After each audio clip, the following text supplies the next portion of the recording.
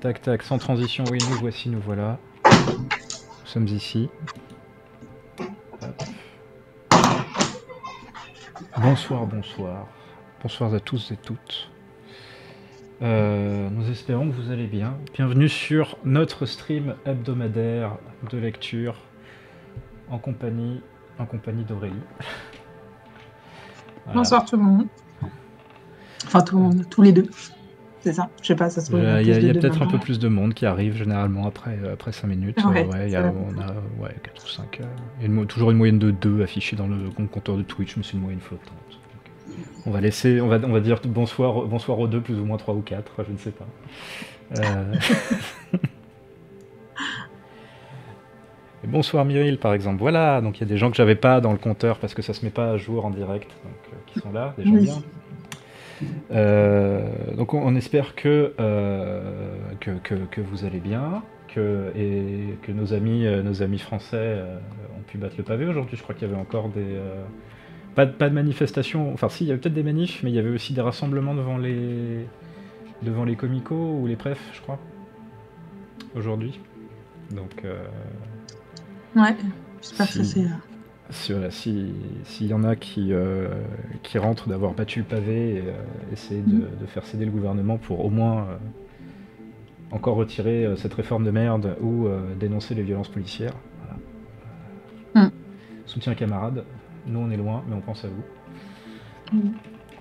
Et on vous offre ce stream pour les ménages après avoir, après avoir pris, avoir- après avoir physiquement travaillé et, et défendu les intérêts du peuple. Voilà.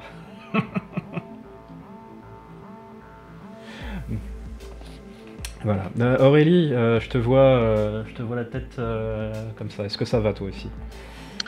Est-ce que ça va? Je vais finir par avoir un contrat, j'espère, j'espère, j'espère, au 1er avril. Donc c'est plutôt une bonne nouvelle. Si ça... Après, c'est pas signé encore, mais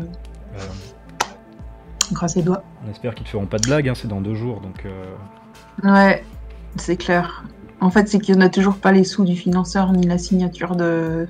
des documents qu'ils doivent faire avec euh, l'institution. Et euh, voilà, et on espère même, si jamais, parce que du coup, selon la- ce qui est dans les documents, euh, si les frais sont éligibles au 1er mars, je sais... je sais pas, mais si, si je peux avoir un contrat rétrospectif au 1er mars, ce serait quand même vachement rétrospective, ils pourraient être payés pour ce que tu as déjà fait aussi en plus. je sais pas. Bah euh, ouais, enfin j'ai quand même bossé euh, en service minimum, mais j'ai quand même bossé depuis tout euh, le temps quoi. Je me suis pas vraiment arrêtée, Ça, ce serait bien. à part un peu en décembre. Ce serait très Donc au moins, au moins pour mars. Non pas tout, pas toute la période, hein, faut pas rêver quand même. Mais pour mars, ce serait déjà bien. Ce serait déjà. Ouais, t'aurais ouais, au moins merci. un mois de. Enfin, t'aurais deux mois d'un. Ouais, un mois de rab. Enfin Ouais, ouais, c'est ça. Ouais, c'est ça. Enfin. On va voir. Mais du coup, euh, voilà. Et à part ça, euh, du coup, euh, bah, j'ai essayé de me remettre cette semaine un peu dans des trucs de travail. du coup, enfin, j'avais besoin de changer les idées. Donc, je, suis mis. J'ai été invitée à une petite conférence la semaine dernière qui était bien. C'était... intéressant, ça parlait sur les, territoires, et populations vulnérables et enfin on a parlé de, protec- de protection sociale au Sénégal et des choses comme ça. Et euh, du coup, j'ai appris des trucs et en même temps, euh, ouais, ça m'a stimulé sur plein de réflexions euh, pour mon, mon boulot à venir, quoi. Et voilà, et du coup, et là, cette semaine, j'ai suivi une conf un peu sur Zoom aussi, voilà. Donc, du coup, je me remets un peu dans le taf, quoi, petit à petit. Mm. Ça fait du bien, en fait. enfin, d'une manière de- de- d'avoir l'esprit à se remettre à des choses et tout ça, c'est bien, quoi. Ah, Ce serait peut-être vachement intéressant si un jour tu pouvais euh, euh, parler aussi euh, de, la, de la situation euh, de la santé publique, au moins de ce que tu connais dans les pays africains, parce que je pense que c'est un truc sur lequel il y a encore beaucoup d'idées reçues aussi si un jour ça te botte. Ouais, alors, euh, c'est très très vaste comme sujet. Mais euh, ce sur, au moins ce sur quoi tu as bossé peut-être, et euh, si... Ouais, en fait, je veux faire un truc, c'est de faire une revue de littérature de tout ce que les étudiants, parce que moi, en fait, j'ai pas mes propres projets à, de recherche. Et euh, du coup, c'est euh, les, les, les gens qui sont boursiers du programme euh, que moi, j'accompagne, que j'organise des formations pour eux et tout ça, c'est eux qui font le travail. la recherche, quoi. je fais mon travail à moi, mais pour eux, la recherche. Et du coup, il y a plein de trucs. Vraiment, il y a eu des, une centaine de papiers de publiés là sur les cinq années qu'on a fait. Donc c'est assez, c'est beaucoup de trucs. Et euh, donc je veux faire une sélection de certains et faire une bonne revue de littérature et euh, faire genre euh, une sorte de, grosse de grosse overview en fait de ce que ça nous apprend sur plus sur les approches transdisciplinaires en fait. Comment en fait qu'est-ce qu'on en apprend en fait qu'est-ce qu'on a fait qui, est de l'approche transdisciplinaire et qu'est-ce que ça apporte en fait. Donc je veux faire ça. Faut que je trouve le temps de le faire euh, sans avoir des soucis à gérer en même temps parce que enfin faut être aussi euh, disponible. C'est pas que avoir du temps euh, en termes de pratique quoi. Il faut avoir le temps et la disponibilité mentale quoi. Faut, faut pouvoir se concentrer faut pouvoir voilà. Voilà un moment bah, si, après tu as des choses à en dire aux gens et si on peut servir de cette plateforme ça, ça pourrait peut-être ouais, très intéressant cool. causer de préparer quelque chose. Mais pour le moment euh, on, a, on a effectivement ce bouquin à finir. il nous reste 3 ou 4 chapitres. Euh, euh, et, ce sera la lecture de ce soir. Donc, bonsoir, je, s'appelle Groot. effectivement, ce soir, paradigme. paradigme. Ou au moins, on, a, on a parlé paradigme la dernière fois. on a parlé Kuhn et la Katoche, donc rationalisme, relativisme au sens de Chalmers. Ouais. Euh, qu'est-ce qu'on en avait dit déjà? Oui, que euh, les rationalistes essayaient de trouver. Je, résume très très vite, hein, mais. Euh, oui, vas-y.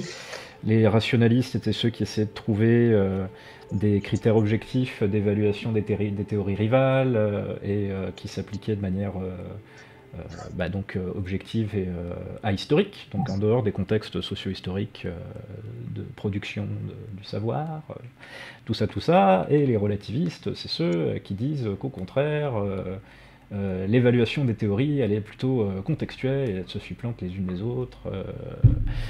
en fonction de critères qui sont extra-scientifiques, on va dire, si je dis pas de, je dis pas de bêtises.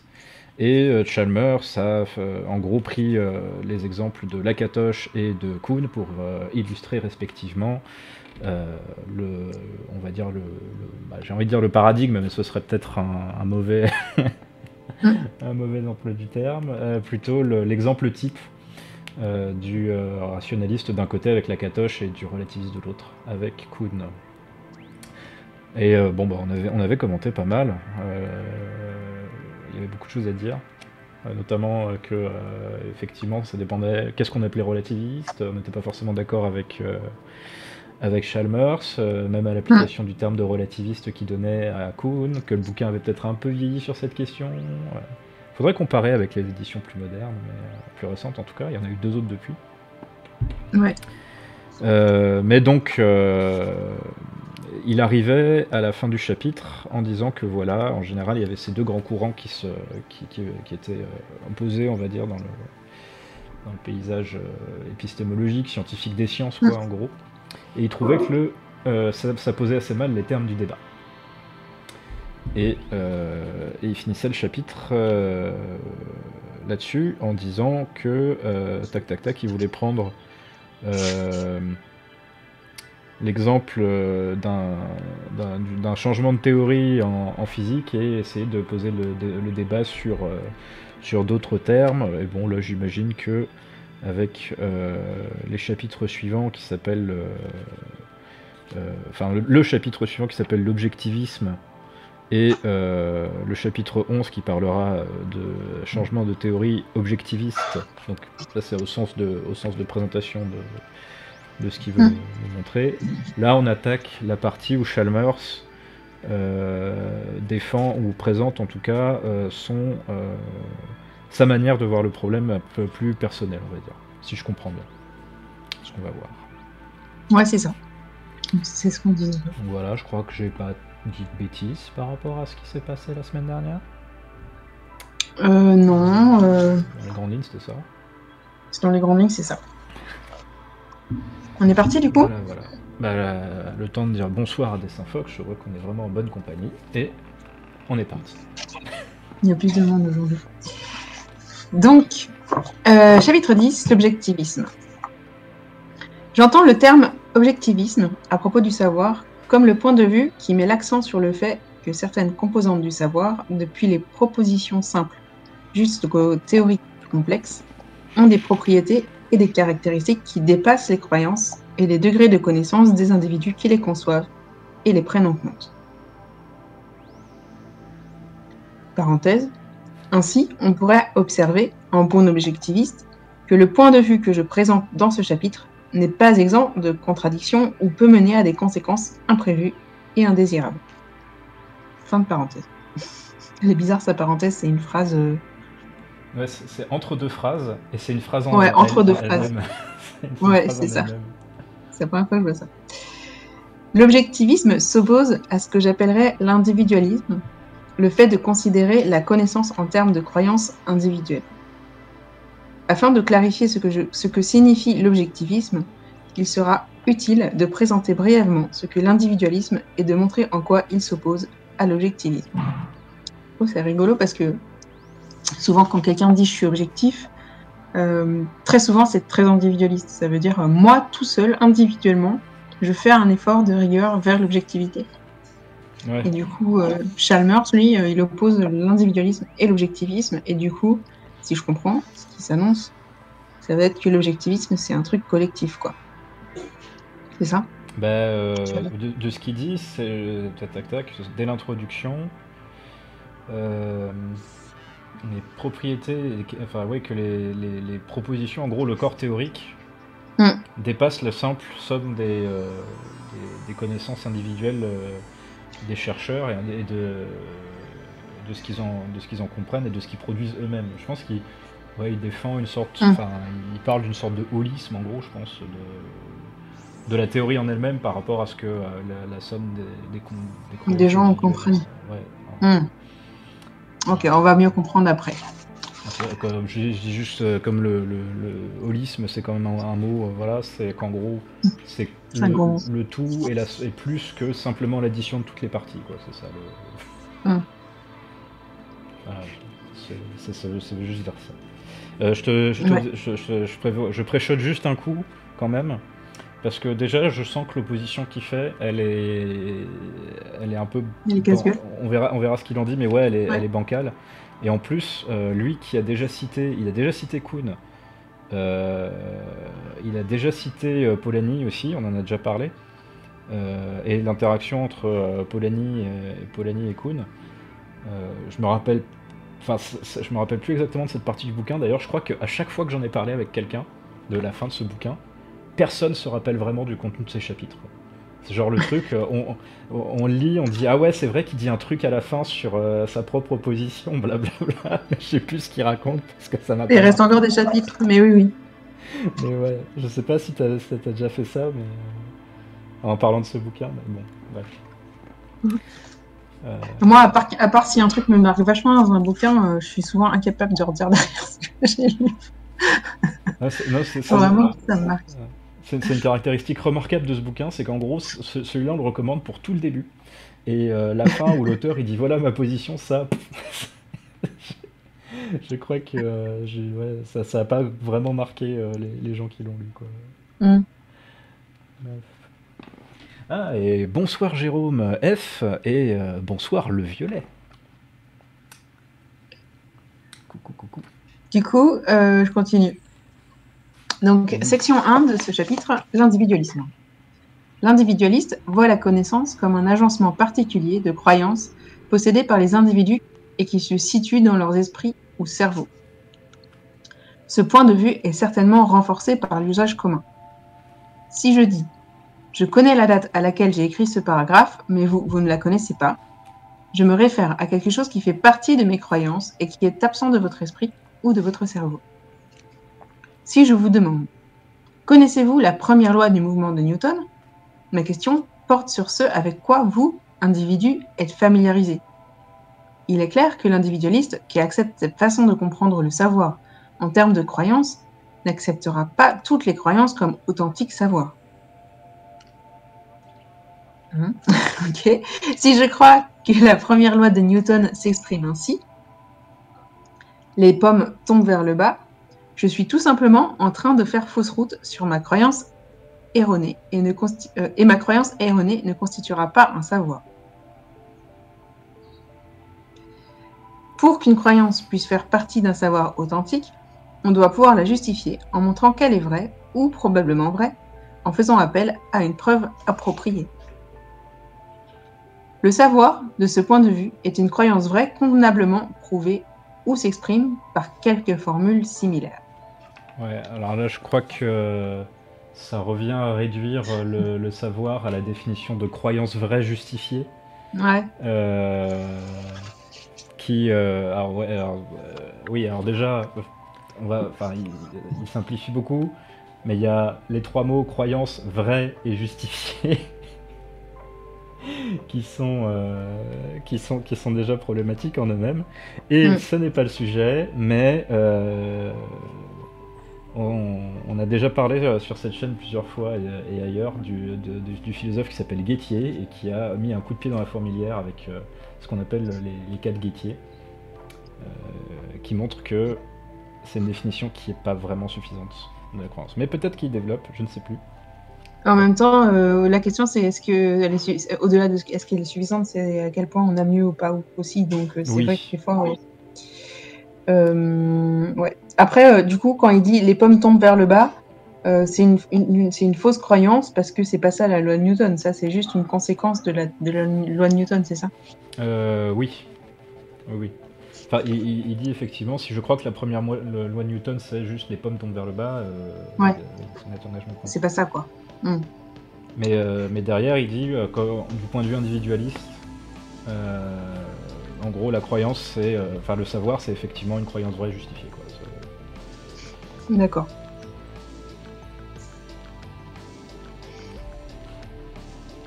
Bon, je suis pas sûre de tout comprendre pour l'instant, mais on va voir.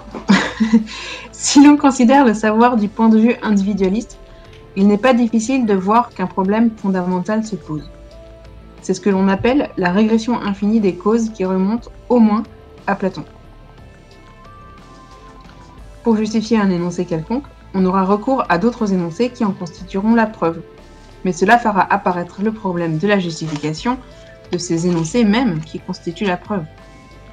Si nous les justifions en faisant appel à davantage d'énoncés donnés, le problème se répète et continuera à se répéter tant qu'on n'aura pas trouvé le moyen de couper court à cette menace de régression infinie.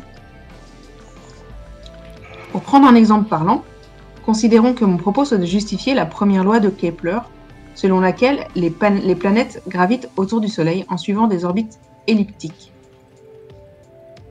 Si je procède en montrant que sa validité approximative est une conséquence des lois de Newton, ma justification est incomplète, tant que je ne justifie pas les lois de Newton. Si je tente de justifier les lois de Newton en recourant à une preuve expérimentale, alors se pose la question de la validité de cette preuve expérimentale, etc. Pour éviter cet écueil de la régression infinie, il semble qu'il soit nécessaire de disposer d'un jeu d'énoncés qui n'ont pas besoin d'être justifiés en faisant appel à d'autres énoncés mais qui en euh, un certain sens se justifient de même. Un tel jeu d'énoncés constituerait les fondements de la connaissance, et toute croyance destinée à recevoir le statut de connaissance devrait être justifiée en remontant jusqu'à ces fondements. Donc en gros des fondements sur lesquels, euh, je sais pas, on se mettrait d'accord et après on dit bon ça on n'a plus besoin de les prouver. ça ressemble beaucoup à, est-ce qu'il forme un paradigme, mais ok. Alors c'est pas tout à, c'est pas tout à fait ça. Mais euh, c'est plus le fait de remonter effectivement de justification en justification. On a Gaël qui voudrait passer pour apporter des précisions là-dessus. Est-ce que euh, on lui demande de faire un petit coucou au moins en vocal? Ah bah, si on veut. Euh, Simon, on est à la page 186. Oui, c'est la première partie du chapitre 10. Ah, et bonsoir Simon. On fait, on fait bah oui, euh, pourquoi pour parler de régression infinie des. Tac, tac, tac. Euh, hop, je lui, je lui copie. Je lui copie et je lui, et je, et je lui dis comment venir. On disait quoi? Ah oui, euh, problème de la régression infinie. Alors, c'était pas encore vraiment à la, à, la, à la mode à l'époque où il a écrit tout ça, chez Mais il y a une solution que je trouvais éminemment séduisante vous voyez le, voyez le problème en fait. C'est-à-dire qu'il nous, faut, euh, il nous faut des fondements à, à une discipline. Mm. Euh, euh, si on, pense que chaque chose doit être justifiée d'une manière linéaire, voilà. Et donc, euh, voilà, chaque justification demandera sa justification, qui elle-même demandera sa justification, qui ainsi de suite. Bon. Et euh, c'est un problème parce que euh, la réalité n'aime pas l'infini. Elle n'est pas gentille, elle n'aime pas ça l'infini. Peut-être parce que tout bêtement, c'est pas un nom, Euh, mais euh, plutôt un concept. Et forcément, effectivement, la solution euh, la plus évidente a priori, c'est d'imaginer des fondements à la discipline, des choses qui n'auront pas besoin d'être justifiées parce qu'elles diront de soi en quelque sorte. Mhm. Donc, le concept, voilà, 1 plus 1 égale 2 pour, euh, pour faire plaisir aux, aux réalistes. Ouais. Voilà. Et euh, le truc, en fait, c'est que je crois pas qu'il en parle, parce qu'à l'époque, c'était pas encore. euh, je sais même pas si ça avait encore été développé vraiment. Mais c'est pas la seule solution. Euh, en fait, il y a une autre solution que je trouve beaucoup plus élégante, qui est de, considérer euh, la justification non plus comme une ligne, mais comme un réseau, en fait. Et où du coup, on peut, rep- on peut faire reporter la justification non pas à la justification euh, de chacun des points par un point précédent, mais par un réseau de justification et où on va du coup s'intéresser à la cohérence de cette justification. Ça va toujours pas nous donner de la certitude, hein. Euh, mais de toute façon, enfin là-dessus, euh, une certitude absolue euh, en épistémologie générale, ça va juste pas être possible. Je, trouve ça assez bizarre le détour qu'il fait par contre sur le sur la. Donc, vous pardon, hein, je sors juste de shutdown donc forcément c'est un peu confus. Mais... En plus je parle avec les mains, il y a la moitié de mes explications qui sont des gestes. essayez d'imaginer une toile d'araignée quoi. Voilà. Elle est, elle est pas, euh, elle pas un nombre de nodes infini la toile d'araignée. Elle est très solide parce que les, points, les nodes se, fortifient entre eux. Vous imaginez un système de justification de ce type.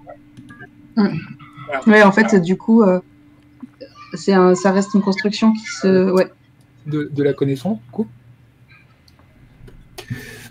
euh, euh, vous, aurez, vous aurez quelque chose de très solide. Et très solide, encore une fois, c'est le meilleur qu'on puisse tenir. La, la, la, la régression infinie, bon, bah voilà, je n'ai pas besoin d'expliquer pourquoi, pourquoi, pourquoi c'est un- pourquoi c'est une impossibilité, je pense. On vit dans un monde fini, euh, nos vies sont finies, dans, une- dans un monde à, l'énergie finie, enfin bon, même si c'est des chiffres astronomiques, euh, tout ça, ça reste fini, quoi. Et euh,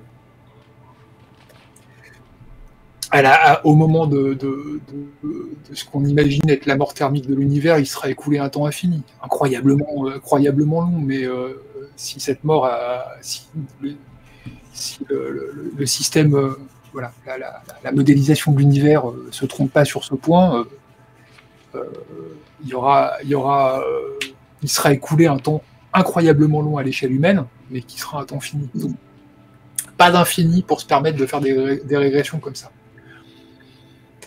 Le, pro- Ouais. le problème des fondements, c'est que il n'y a pas vraiment moyen de dire euh, que, que à un moment donné, on va arriver à quelque chose qui ne demandera pas de justification. Non, mais voilà, mais c'est du coup, c'est plus ça, euh, indépendamment. Même si l'infini existe, euh, en fait, il y a pas, c'est pas très important en fait de savoir euh, s'il existe ou pas. Mais la question, c'est qu'on va, de toute façon, on n'arrivera Non, parce pas au c'est vraiment trois- modèles qui ont été défendus. Mais je, je rappelle, Mhm. que là, on est, on, est, on est dans le cadre de l'épistémologie générale et pas dans le cadre de l'épistémologie des sciences. Et c'est là où je suis assez surpris qu'il fasse un tel détour, parce que l'é- l'épistémologie générale, c'est une discipline qui est très abstraite. Euh, L'épistémologie générale, elle s'intéresse au statut de la connaissance. Elle s'intéresse à, trois, à trois questions essentielles qui, euh, qui sont des questions purement conceptuelles. Quoi. Mm, mm, mm. Voilà. Et, Oui. et du coup, euh, l'épistémologie des sciences, elle, elle s'intéresse à des conditions concrètes, normalement. Elle est censée s'intéresser à des conditions concrètes. C'est pour ça que bah, deux des, grandes traditions de l'épistémologie euh, des sciences euh, occidentales, euh, que ce soit l'école française ou l'école anglo-saxonne, pour faire très très large, hein, parce que c'est des, des, écoles qui tendent à mélanger épistémologie des sciences et histoire des sciences. Parce qu'on va parler, on va parler toujours dans le concret, quoi. Le fait de, le fait de, de, faire ce, cette, cet appel à l'abstraction, j'avais oublié ça dans le, dans le Chalmers. Mais ça me semble, euh, ça me semble en soi être un problème, quoi. On va se retrouver avec des questions pour le coup qui sont vraiment posées, et il y a vraiment des gens qui défendent euh, mm l'idée d'un modèle constitué par une régression infinie, euh, comme il y a vraiment des gens qui défendent l'idée d'un modèle euh, euh, dont la cohérence est garantie par, par des fondements. Même si bon, je pense que ça commence à régresser beaucoup hein, globalement. Hmm. Par exemple, les, pragmatistes tendent à être, à être des, gens qui, qui, choisissent cette approche la cohérentisme, c'est pas vraiment. C'est déjà pris en épistémologie générale, mais. Euh, euh, merde, je l'ai plus. Bon, cette, cette, approche de la justification par la cohérence, quoi. Si je me trompe pas, le, le, enfin, le, grosso modo, les mouvements pragmatistes, c'est des gens qui justifient la validité d'une connaissance par son effectivité, enfin par le fait que ça a l'air de bien marcher, c'est ça ou, euh... y a... Ça serait, ça serait mon école préférée, en l'occurrence, celle de, celle de. Merde, là, autre chose. William James, voilà. Merci. Merci, Vector, Vector Ah. Euh, et du coup, euh, euh, ouais, ça serait, ça serait une ça serait l'idée de l'idée de l'effectivité. Même si c'est plutôt une terminologie hegelienne effectivité, je suis pas sûr, j'ai pas souvenir de, j'ai pas souvenir que ce soit très, très courant chez les pragmatistes. Mais l'idée d'effectivité, ça serait plutôt justement cette, cette approche euh, euh, nominaliste du pragmatisme, là où euh, Pierre serait, plus dans une approche réaliste. Et j'en profite pour, pour faire un petit clin d'œil à William James, puisque c'est lui qui a réintroduit cette opposition nominaliste-réaliste pour parler de ce qui l'opposait avec Pierce. Voilà. Ok. On va continuer du coup. Euh... On va où il va parce que j'ai pas oublié ce passage et j'aimerais vraiment savoir comment il justifie ce passage à l'abstraction. quoi. Est-ce que tu veux rester avec nous ou... Ouais, j'essaie de me faire petit et, euh, et, discret en général. Puis si jamais j'ai un truc intéressant à, dire, peut-être qui est susceptible d'être intéressant, euh, je vous fais un petit signe. Est-ce que j'en profite pour. Euh, tu, tu, veux peut-être rester juste en vocal, j'imagine? Bah, du coup, ouais, c'est pas. Ouais. On voit pas de toute façon, je suis en vocal. Mm. Oui, oui, oui, oui, non, Juste que du coup, vous me voyez dans oui, vous faire coucou. Par exemple, si j'ai un truc à dire, je peux lever la main sans, sans déranger tout le monde. Je te regarde. Ça marche. Si l'on décompose ainsi le problème de la connaissance, on voit aisément que, les deux, que deux traditions rivales de la théorie de la connaissance, le rationalisme classique et l'empirisme, s'affrontent. Pour résumer brièvement et sans nuance, nous pouvons présenter les arguments suivants. Les êtres humains, en tant qu'individus, disposent de deux façons d'acquérir une connaissance sur le monde, la pensée et l'observation. Si nous privilégions le premier mode sur le second, nous obtenons une théorie rationaliste classique de la connaissance, et dans le cas contraire, l'empirisme. Donc si on privilégie euh, la pensée on obtient une théorie rationaliste si on privilégie euh, l'observation, une théorie empiriste. Petit commentaire de Gaël, peut-être? Commentaire de Gaël, oui, parce que justement, alors, c'est là où il faut garder à l'esprit que ce passage de Chalmers, pour ce qui est de l'épistémologie générale, est daté. Hmm. Effectivement, il n'y a pas cette, cette approche, euh, cette approche d'un réseau cohérent de justification. Ouais. Euh, il n'y a que les deux autres infinité. Il n'y a, que les deux classiques. Et qui sont, enfin, qui remontent à très très loin, effectivement. On peut faire remonter ça à, à, l'épistémologie, euh, à l'épistémologie des philosophes grecs, quoi. Mais euh, des Platon, tu avais déjà du, rationalisme comme ça, quoi. Ouais. même avant, probablement. Mm. Euh. Mais du rationalisme au sens philosophique. Oui, oui, oui. Là, on rappelle, quand même dans, un contexte où il y a certaines personnes euh, dans, le chat et euh, moi-même qui viennent du rationalisme scientifique, que euh, le rationalisme scientifique, le mot n'est pas du tout utilisé dans le même sens que rationaliste, et ça pose d'autant plus un problème que le Mm. rationalisme scientifique a été historiquement plutôt porté sur l'empirisme, qui est le grand adversaire, adversaire du rationalisme philosophique. Voilà. Mais en philo, il y, a plein de- il y a plein de cas comme ça. Le, le rationalisme philosophique, c'est le rationalisme de Descartes. C'est euh, euh, voilà, je peux euh, euh, extirper des vérités euh, depuis ma conscience elle-même. J'ai pas Mm. besoin d'interaction avec le monde pour savoir ce qui est vrai. Donc c'est vraiment, vraiment, vraiment très différent de ce que Mm. ce que de ce qu'est un rationalisme scientifique qui est pas bien informé sur l'histoire de la philosophie va va tirer de la donc on ne Oui. parle pas de rationalisme dans le sens philosophique ici. Selon le rationalisme classique, les véritables fondements du savoir sont accessibles à l'esprit humain. Les propositions qui constituent ces fondements se révèlent vraies de façon claire, distincte. Elles constituent leur propre preuve à l'issue d'un raisonnement et d'un examen approfondi. L'illustration classique de la conception rationaliste du savoir est la géométrie euclidienne. Les fondements de ce corps particulier du savoir sont des axiomes, des énoncés comme celui-ci. Deux points ne peuvent être reliés que par une seule ligne droite. Il est plausible de dire que de tels axiomes, de, de dire de tels axiomes qu'ils sont vrais en eux-mêmes, même si d'un point de vue moderne, certains sont considérés comme faux à la lumière de la théorie de la relativité générale d'Einstein. Ah, on a Gaël qui veut, qui lève la main. Ouais. Ouais. Je finis mon paragraphe ou c'est vraiment. euh, C'est ça concerne ça concerne ce qui est, euh, son exemple en fait. Et Ok. puis- puis je- Ouais, en général, j'aime bien finir mes paragraphes. ouais. Je peux comprendre. main, moi je. On, on- on attendra les fins de paragraphe d'Aurélie si tu veux intervenir, Gaël. Une fois, ouais, parce qu'il y a une cohérence et c'est important de ne pas Ouais. perdre le fil. C'est vrai. Une fois que leur vérité a été établie, tous les théorèmes qui en découlent par déduction seront également vrais. Les axiomes, auto-évidents, constituent les fondements sûrs qui justifient le savoir de la géométrie selon l'idéal rationaliste. Le premier rationaliste moderne du type que j'ai décrit ici était René Descartes. évidemment. Alors, concernant Euclide, c'est un petit peu plus compliqué pour deux raisons euh, que ce que dit Chalmers. Je vais, quand même euh, un petit peu développer parce que c'est intéressant euh, du point de vue de l'épistémologie des mathématiques.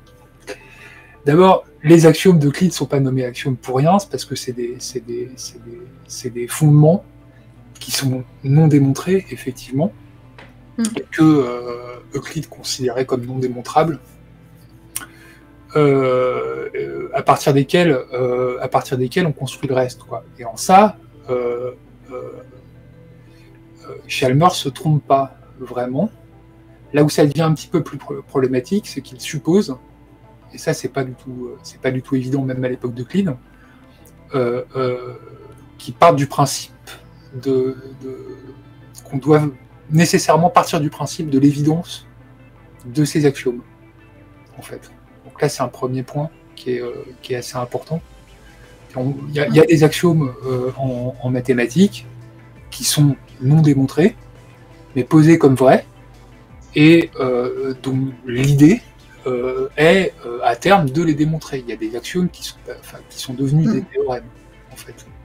Même des axiomes dont on pensait que personne n'arriverait à les transformer en théorèmes, mais qui sont devenus des théorèmes quand même. Le second point qui me semble problématique, c'est dans sa présentation de, de ce qu'on considère comme faux à l'aune de, la, de la, la théorie de la relativité. C'est que là, en fait, il est en train de mélanger les mathématiques et la physique, euh, ce qui allait déjà pas de soi du tout à l'époque des Grecs. Mm.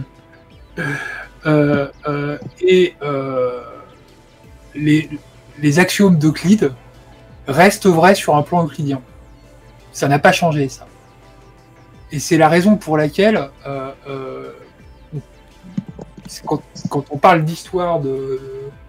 Je sais pas je- je sais- si vous avez suivi mes lives avec Laurent, il y a un live où je, où je me foutais de la gueule de, de Sokal, notamment euh, parce que dans son. Dans son. Dans son. Merde. Son faux, là, enfin son, son canular, il y avait des erreurs grossières de sa part et notamment quand il parlait de l'historicité du nombre pi, euh, qui était supposé être quelque chose d'absurde à dire, alors qu'en fait, bah, euh, il commet une erreur grossière qui montre que du coup, il ne sait pas de quoi il parle quand il parle d'épistémologie de, des sciences. Parce ah qu'il y a une historicité du monde, il y a une historicité du nombre, de la valeur du nombre pi. La raison pour, pour laquelle il y en a une, c'est que à partir du moment où on, remet en cause le, l'axiome des parallèles de Klein, je crois que c'est le sixième. Euh... Euh, je suis pas matheux, je connais pas assez l'histoire des maths et les axiomes de Klein, mais en gros. L'idée que les parallèles ne se croisent jamais euh, en aucun de leurs points, en fait. Euh, bah, quand on, quand on, quand on si on remet en cause ça, et c'est le cas si on prend un plan sphérique, qui n'est pas un mm. plan euclidien, euh, où du coup des parallèles se croisent en deux points, en fait, euh, ou dans d'autres euh, dans d'autres plans non euclidiens, c'est le cinquième. Merci. Meilleur confirme. Merci. donc, plan plan sphérique, vous avez, vous avez vos, vos, parallèles qui se croisent en deux endroits, les deux pôles. Et du coup, bah, si vous gardez la définition de pi telle qu'elle telle qu'elle telle qu'elle était à l'époque où il n'existait que des plans euclidiens en mathématiques, ouais, euh, je, simplifie pour aller vite. Si vous, si vous gardez la, la, définition, ah merde, j'ai perdu le fil, du coup, faut pas que je dise le titre. Tu parlais du fait de euh, calculer euh, le nombre pi. Ouais, si, vous gardez, si vous gardez la définition de pi et que vous l'appliquez telle qu'elle, donc à l'époque où il n'existait aucun, aucun plan non euclidien, vous avez votre définition de pi, donc euh, qui est un rapport entre le rayon et, et, la circonférence. D'un cercle. D'un cercle. Voilà. Maintenant, si vous tracez un cercle sur un plan, sur un plan non euclidien, et que vous, amusez, vous vous amusez à faire le, calcul du rapport que vous allez obtenir par rapport au rayon, vous allez vite vous, rendre compte que euh, bah, vous allez trouver une autre valeur au nombre pi. Et du coup, ça a nécessité de redéfinir pi en disant que c'était ce rapport est dans un plan spécifiquement euclidien. Donc il y a bien une historicité du, du nombre pi. Par contre, la, la, théorie de la relativité qui introduit euh, les mathématiques non euclidiennes dans la physique n'ont pas prouvé que l'axiome, l'axiome des parallèles était faux, en fait. Mm. Euh, ils ont restreint. juste euh, euh, restreint aux conditions de, aux conditions de leur de leur de leur, validité par Euclide. Voilà, c'est-à-dire les conditions étant bah, l'existence d'un plan euclidien. En fait, si je peux même me permettre, je peux aller encore plus loin euh, en disant que euh, euh, la... les axiomes d'Euclide et leur, leur, invalidité supposée n'a pas grand chose à voir avec la théorie de la relativité d'Einstein. Je pense qu'il en parlait parce que parce que c'était une théorie connue qui utilise des mathématiques non euclidiennes. mais en fait, la, la, théorie d'Einstein, justement, elle a pu être posée parce que les mathématiques non euclidiennes, ça faisait un moment que ça existait. Et euh, il y a des. Un siècle. Et encore, pas publiquement, parce que Gauss n'a jamais publié ce qu'il est. Oui, oui, Gauss, enfin, il y a Gauss, mais effectivement, c'était ça commençait à être un, champ de recherche bien établi, parce qu'il y avait y a Gauss qui a commencé, et derrière, euh, tu avais, avais, une période quand même assez florissante de mathématiques en Allemagne. On a eu euh, Riemann et, et, Hilbert qui ont. qui ont, qui, ont, qui, ont, qui ont quand même pas mal fait, fait avancer le champ aussi. Mais donc. Voilà, un siècle. Hmm un siècle. oui, oui, oui, Je disais donc que euh, c'est étonnant qu'il euh, mobilise de toute façon la théorie de la relativité générale qui a pu être formulée parce qu'il y avait déjà des travaux en mathématiques non euclidiennes. Ouais, il aurait dû parler de mathématiques non euclidiennes directement en fait. Qui sont, ouais, qui sont plutôt ce que j'aurais mobilisé pour euh, comparer à, la, Enfin, pour justement ouais, parler de. ouais, ce passage à la physique qui fait pas sens quoi. Ouais, là c'est un peu bizarre. Euh, euh, et, il fait ça des fois, hein. c'est pas la première fois. Euh, c'est vrai. Je suis un peu Ce qui est d'autant plus étrange, c'est que la première, la première chaire de, de, de, physique mathématique, elle a été, elle a été créée, Cocorico d'ailleurs, par. Ah bah, bordel, c'est pas possible et non propre aujourd'hui. point carré. Voilà. Autant dire que c'est très très très contemporain Et euh, le pauvre Euclide, ses os avaient fini de se décomposer depuis longtemps, quoi. Enfin, je veux dire. Donc c'est euh, c'est- faire, le, faire ce lien avec les mathématiques et la physique qui, qui semble si évident maintenant, c'est en histoire, c'est une erreur de débutant, quoi. C'est comme si, c'est comme si on, on partait du principe que euh, au, au, au XVIIe siècle, la, chir- la chirurgie et la médecine étaient reliées comme elles le sont maintenant. Enfin, c'est- très bizarre. Bref, Et surtout qu'il a déjà parlé de Galilée, qui est euh, un des premiers justement à avoir euh, vraiment eu euh, mathématiser. l'idée de mathématiser la physique. quoi. Et encore, pas, la- pas physique, l'astronomie et Je l'optique. vais vous arrêter parce que les gens ils vont pas du tout suivre le fil du bouquin si vous parlez dans des digressions aussi longues. Tu as bien raison. C'est- quand même. Alors, j'y tenais un peu quand même à tout ça parce que, et c'est pour ça que j'ai insisté aussi à monter, c'est pas juste pour faire mon intéressant. Euh, même si bon, c'est vrai que j'adore parler des trucs qui m'intéressent, donc forcément, c'est une motivation euh, parler des trucs en soi. Mais on conseille souvent ce livre et je continuerai à le conseiller. Mhm. Mais c'est important de se souvenir que c'est un livre qui est daté. Voilà, comme je vous l'ai montré par exemple avec, euh, avec le problème de la régression infinie, la seule solution qu'il propose, qui était vraie à son époque, mais Mm. pas maintenant. Et c'est un livre qui peut contenir des erreurs et ou être partial d'une manière plus ou moins. euh, Ce, qui est- ce que, une des raisons pour lesquelles je conseille facilement le Chalmers, c'est quand même, comme on l'avait déjà dit euh, plusieurs fois, notamment avec Germain, c'est qu'il a, il a tendance à, à, à ne pas masquer sa partialité quand il est partial, et ça c'est très bien. Ça, Ouais, c'est ouais. très bien. Euh, mais le fait qu'on le conseille veut pas dire euh, que c'est que c'est un ouvrage Irréprochable. irréprochable, tout à fait. C'est ouais. euh, C'est des choses qu'on dit. C'est vrai que c'est des choses sur lesquelles on s'est arrêté aussi nous euh, au fur et à mesure de la lecture pas mal de fois. hein, où, euh, tout à fait. D'ailleurs, c'est même intéressant de revenir dessus régulièrement pour, pour, euh, Oui, pour lever de plus en plus de trucs, je trouve. c'est sûr. La première fois que je l'ai lu, effectivement, je me suis dit, bon, ouais, ça va. La deuxième fois que je l'ai lu, euh, je commençais à, à Il y a me dire qu'il y avait des trucs euh, qui me plaisaient moins. Ouais. Et euh, là, en rediscuter justement en plus avec quelqu'un et en, en direct, et même avec euh, des gens dans le chat qui ont aussi fait des, des Ouais. interventions, ça permet de. Ouais. De dire, ouais, ouais. ça, ouais. Bon. Cet argument. on- l'a on l'a vu aussi hein, quand on était euh, avec euh, quand on était en live avec Laurent, euh, le fait de lire un, un livre euh, à la vitesse de la lecture orale, Mm. ça, ça donne beaucoup plus de temps en fait. Et le, le- le- Surtout si vous lisez vite, euh, euh, c'est particulièrement intéressant de, de, Ouais. de se livrer à ce genre d'exercice. Bah, puis euh, c'est vrai qu'on s'arrête à chaque euh, étape pour voir si on a compris, euh, pour en discuter, etc. Donc forcément, euh, Ouais, ouais, on est plus, euh, plus critique, quoi. tout à fait. Ok, je continue. Bah, Je, je, je resitue peut-être juste. On vient de oui. finir le passage où il présentait le rationalisme classique en euh, prenant l'exemple des mathématiques et en parlant d'Einstein comme il l'a fait, voilà. Et euh, en disant que voilà, les- le- ce qu'il lui il appelle rationalisme classique, c'est en gros la pensée cartésienne. Euh, Hmm. Voilà. C'est le rationalisme classique. Oui, oui, ça, voilà. Il ne fait pas d'erreur. C'est juste, c'est juste que c'est ambigu quand on vient du rationalisme scientifique. Mais quand on est, euh, quand on est philosophe, euh, c'est comme ça que ça s'appelle. Mm. Voilà. Ok, mm, j'y vais.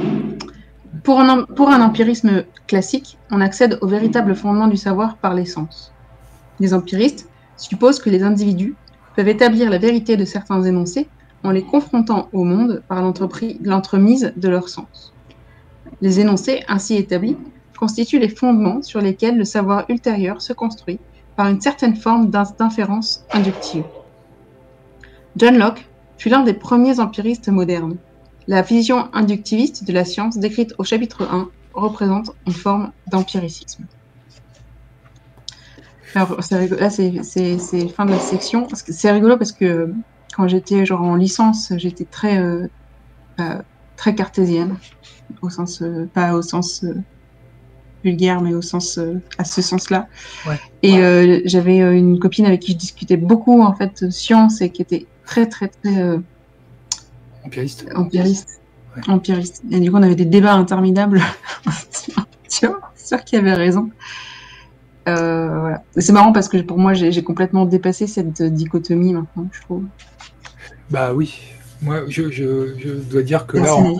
on est sur des, on est sur des, on est vraiment sur de la philosophie, philosophie, là, on est vraiment sur des problèmes abstraits. Ouais. Concrètement, on en reparlera avec Germain quand on reprendra, euh, quand on rentrera dans le vif du sujet de la Ouais. l'histoire. Mais concrètement, euh, euh, on fait feu de tout bois. En, en- en science, on fait feu de tout bois.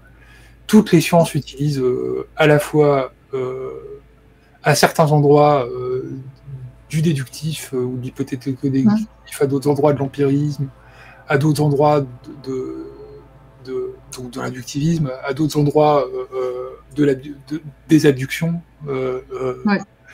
euh, Ah bah, du coup, à ce moment-là, on... se sert de plein de... Il y a même, il y a même des découvertes qui ont été faites euh, grâce à des analogies, hein, quand même. ouais, ouais.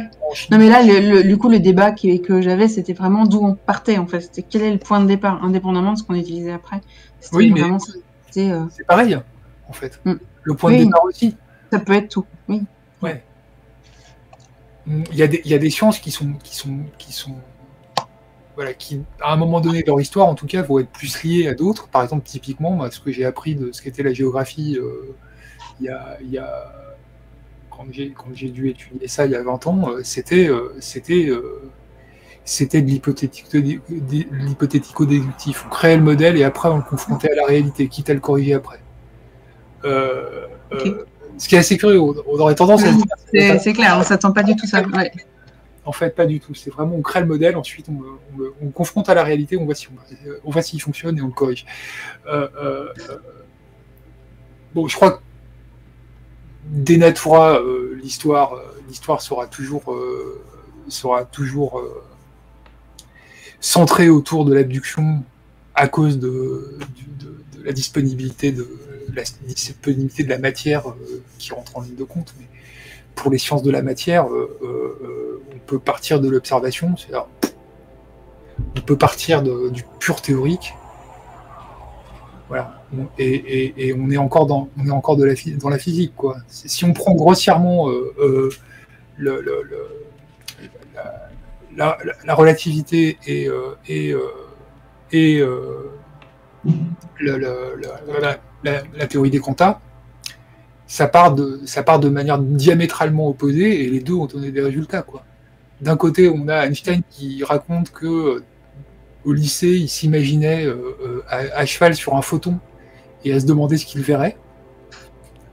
Donc une expérience de pensée purement abstraite Mm. et qui crée un modèle mathématique, enfin qui crée. euh, Après, c'est une belle histoire. hein. ah Je me méfie.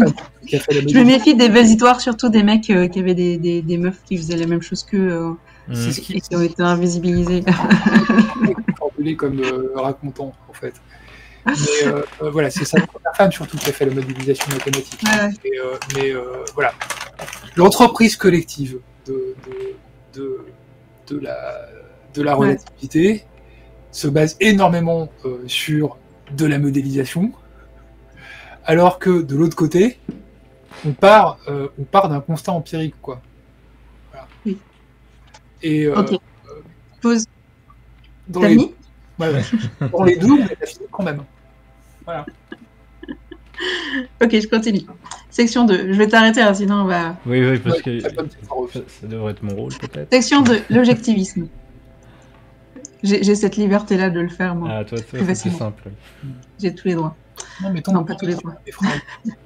quitte à ce que je les raccourcisse moi-même. Un individu qui vient au monde arrive dans un monde où existe déjà beaucoup de savoir. Celui qui vise à devenir physicien sera confronté à un corps de savoir qui constitue l'état actuel de développement de la physique. Et il lui faudra se familiariser avec une grande partie de ce savoir s'il souhaite faire une contribution au domaine. L'objectiviste privilégie, dans son analyse de la connaissance, les caractéristiques des éléments ou des corps de savoir auxquels sont confrontés les individus indépendamment de leurs attitudes, de leurs croyances ou d'autres états subjectifs. J'ai pas compris cette phrase. C'est pas grave, je finis mon paragraphe. Pour utiliser un raccourci rapide, la connaissance est traitée comme quelque chose d'extérieur à l'esprit ou au cerveau des individus, et non comme quelque chose d'intérieur. Je comprends pas du tout ce qu'il veut dire.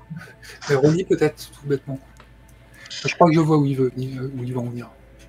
L'objectiviste privilégie dans son analyse de la connaissance les caractéristiques des éléments ou des corps de savoir auxquels sont confrontés les individus, indépendamment de leurs attitudes, de leurs croyances ou d'autres états subjectifs. Mm. J'aurais bien aimé un exemple parce que franchement, je vois pas ce qu'il veut dire quoi. Euh, Euh, moi, je vois. surtout, Moi, je vois. Alors- je, vais- je vais essayer de te, je vais essayer de le Ouais. d'une autre manière, peut-être. Bon. Euh, c'est un peu comme ce qui se passe avec, avec le problème de l'art, en fait. C'est-à-dire, est-ce que le beau, il est dans le tableau ok, Est-ce que c'est nous qui le créons en regardant le tableau ok, plus malin Est-ce que c'est l'interaction entre les deux Mais si on prend les deux, les deux, les deux figures qui nous, a, qui nous a donné à voir, là, le rationaliste et le- et le- et le- et le- et l'empiriste, euh, ok, on, on se retrouve face à la même chose. L'objectiviste, il va penser que la connaissance est une caractéristique de l'objet qui est connu. Ce qui est une position extrêmement foireuse, parce Mm, qu'elle, mm, mm. euh, euh, et mais c'est très courant, hein, hélas. Mm. Elle oublie que l'objet de, de la l'épistémologie générale, c'est pas simplement de savoir ce qu'on connaît, mais aussi comment. Et comment dans les doubles sens. J'ai bien dit que, Et quoi euh, que- voilà, comment dans le double sens de, de comment, c'est-à-dire par quelle méthode, par quel biais, par quel, par quel, par quel processus on connaît, Euh, euh, mais aussi qu'est-ce que ça veut dire connaître? Ok, donc ça j'ai compris. Et du coup, j'ai fait le lien avec ce qu'il dit avant, euh, dans le fait que le- la personne qui veut faire des, de la physique, il doit se, fa- se- se- il doit se familiariser d'abord avec le développement de la physique, se familiariser avec ce savoir, et ensuite, il pourra faire une contribution dans le sens. Donc, du coup, ça veut dire que l'objectif, en fait, il y a des connaissances objectives qui sont déjà établies, Mhm. Et euh, l'individu et qui sont extérieurs à l'individu, qui sont un, un quelque chose de commun, et l'individu doit s'y familiariser avant de pouvoir faire une contribution. Qui sont extérieurs. Et au voilà. sujet. Si on pense, si on est vraiment objectiviste, hein, on pense que la, que la connaissance est extérieure au sujet. Elle est dans l'objet, en fait. Euh, Ouais. Elle est dans l'objet connu. Ce qui est marrant quand même qu'il est, Mais tu vois, qu'il est- En fait, pour, pour, pour faire le pont avec quelque chose que vous avez déjà entendu tous là, euh, autant que vous êtes normalement, si vous avez suivi depuis le début, euh, là, ce que, ce que Chalmers est en train de dire, c'est ce que Kuhn appelait le manuel dans, dans, euh, dans la structure des révolutions scientifiques.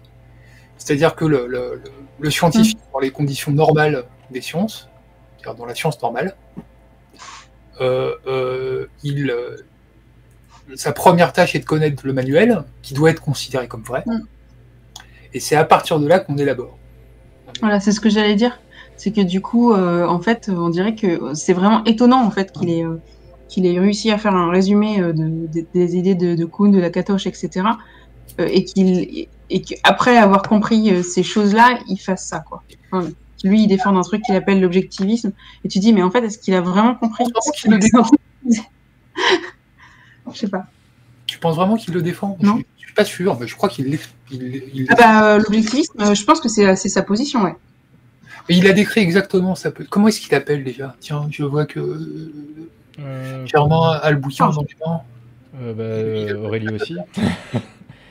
Euh, C'est euh, le dernier chapitre avant la conclusion, je crois, où il... alors, attends, là. Ouais, il n'est pas très clair sur le fait que c'est sa position, en fait. Je viens de regarder. Il, il appelle ça le réalisme Euh, non figuratif. c'est ça. Ouais. Ok, donc peut-être peut-être que peut-être que c'est pour ça aussi. Ce sera sa On va voir justement. Ok, ok. Donc du coup, c'est juste moi qui me trompe. Ok.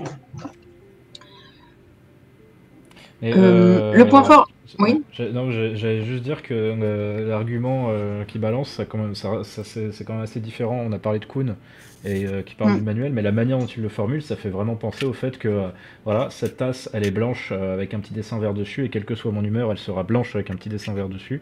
Et Oui. euh, on peut euh, exprimer ça de manière euh, avec des longueurs d'onde de photons, euh, le fait que je les reçois avec mes yeux, et que ce soit indépendant de, Mm. euh, de mon humeur. Euh, ça me rappelle quand même vachement un certain réalisme naïf. euh, Oui. Oui, bah oui, c'est clair. Bah, tout à fait. Donc, euh, Tout à fait. C'est, euh, c'est, je, dis- je disais qu'en fait, ce qu'il ce qu'il décrit au départ, là d'où il parle, l'idée que le scientifique doit se familiariser avec le manuel, enfin, avec, euh, avec l'état actuel des connaissances, euh, euh, tel que je comprends le passage, en tout cas, j'ai Mm. Qu'il décrit la raison pour laquelle le réalisme naïf est aussi courant euh, chez les scientifiques. il n'est pas du tout hégémonique, hein, par contre, hein, contrairement à ce que prétendent les scientistes. Le, le, le, le réalisme naïf est très loin d'être hégémonique euh, dans le... chez les scientifiques. Par contre, on pourrait effectivement s'étonner qu'il puisse quand même être courant sans être, euh, sans mm. être euh, hégémonique majoritaire, qu'il puisse quand même être aussi courant, parce que c'est bizarre.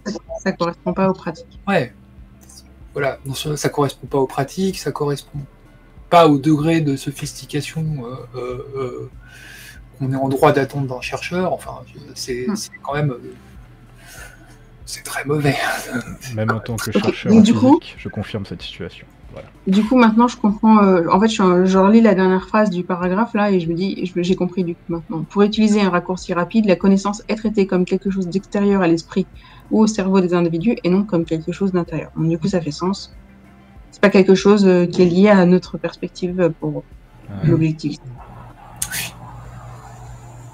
Le point fort de l'objectivisme peut être illustré par des propositions très simples. Un langage étant donné, les propositions qui en font partie auront des propriétés dont les individus seront ou ne seront pas informés, et ils auront ou non des connaissances, euh, et dont ils auront ou non connaissance. Par exemple, la proposition Mon chat et moi vivons. Ouais, cochon est mort, oui. Ah voilà, c'est ça. Dans ces exemples simples, le fait que les propositions ont des propriétés que j'ai isolées paraît assez trivial à quiconque les, les examine. Mais il n'en va pas toujours ainsi. Par exemple, dans un procès pour meurtre, un avocat peut découvrir, après une analyse minutieuse, que la déposition d'un des témoins contredit celle de l'autre. Si cela se produit, cet état de fait est indépendant des intentions des témoins, du fait de savoir s'ils en sont conscients ou non, ou s'ils le croient ou non. Qui plus est, si notre avocat n'avait pas mis à jour cette incohérence, elle aurait pu rester inconnue et personne n'en aurait jamais été informé. Le fait n'en reste pas moins que les rapports des deux témoins étaient contradictoires. Les propositions peuvent donc avoir des propriétés tout à fait indépendantes de la conscience qu'on a un individu. Elles ont des propriétés objectives. Oui. Euh, en fait, la question sur le problème, c'est qu'il y a objectif et objectivable. Bah, c'est-à-dire, elles ont des propriétés objectives. J'aime pas cette formulation parce que euh, toutes les propriétés qu'on décrit le sont par l'intermédiaire de, des concepts concrets pour les décrire. Mais après, euh, euh, si on le prend au sens le plus, euh, le plus, le plus simple, oh qu'il est beau ce chaton. Si on prend le plus simple et le plus trivial, ça consiste juste à reconnaître le premier degré du réalisme, le tout premier, celui qui met d'accord sauf les solipsistes. Ouais, c'est ça. Il existe un monde objectif. C'est ça. Bah, là-dessus, euh, pas de problème, oui, il existe un monde objectif. Voilà. Si, c'est... Mais ce qu'il y a, d'intéressant dans ce qu'il dit, c'est que euh, euh, il n'y a pas d'identité entre connaissance et propriété objective. Ça qui est, qui, est, intéressant dans ce qu'il hmm. C'est là où il conteste, où il conteste la position objectiviste naïve, peut-être qu'il a décrivé précédemment. C'est-à-dire, la, position objectiviste la plus naïve suppose. Attaque de chat. La position objectiviste la plus naïve suppose euh, euh, soit carrément l'identité entre la connaissance et son objet, soit au moins l'approximation d'identité entre la connaissance et son objet. Et voilà quelque chose qui met en problème cette idée fallait pas partir sans couper le micro, par contre. Bah, il a rien fait. Non, c'est moi qui ai, euh, c'est moi ah. qui avais coupé le temps qu'elle sorte le chat. Ah oui. Bah, j'ai pas fait de bruit. Hein. C'était ah, mais ça venait d'un de, d'entre vous, mais en tout cas, il y avait du clac-clac et du bloum-bloum, et c'était. Ah, mais j'ai coupé après, c'est pour ça. Désolé. C'était peut-être moi. Je sais pas. Ok. Donc, tu euh... Tu peux, continuer? Ouais, t'as entendu Aurélie? T'es euh. d'accord T'as des choses à. Je sais pas. Bon, en tout cas, oui, quoi, il, a, il a juste élaboré sur l'idée qu'il n'y avait pas effectivement de, de rapport euh, un pour un entre. euh, donc, tu as dit euh, propriété entre, entre la propriété des objets et la et connaissance. subjective, oui, c'est Ouais. ça. Ce qui pose du coup un énorme problème à imaginer que, le- que la connaissance soit un objet, soit, soit une, une propriété de l'objet. Enfin, Oui, c'est ça. On est d'accord. L'enchevêtrement euh, des propositions composant un domaine du savoir à une étape de son développement aura également des propriétés dont ceux qui les utilisent ne sont pas nécessairement informés. La structure théorique qui est la physique moderne est si complexe que l'on ne peut clairement l'identifier ni avec les croyances d'un physicien, ni avec celles d'un groupe de physiciens. De nombreux scientifiques contribuent chacun à sa manière, avec son propre talent, à la croissance et à la formulation de la physique. Exactement comme la construction des cathédrales avait nécessité une collaboration entre de nombreux corps de métier. Et comme un restaurateur de clocher heureux pourra rester, Dieu soit loué, dans l'ignorance des implications d'une macabre découverte faite par des ouvriers qui avaient creusé près des fondations d'une cathédrale, un théoricien de, no- de haut niveau, je rigole parce qu'il est quand même assez, euh, il, il est assez porté sur les, les meurtres, les, les trucs un peu glauques hein, quand même. Ouais, les images Dans ces exemples, assez souvent. Un ouais. Donc du coup, un théoricien de haut niveau pourra ne pas connaître l'importance de certaines découvertes expérimentales pour la théorie sur laquelle il travaille.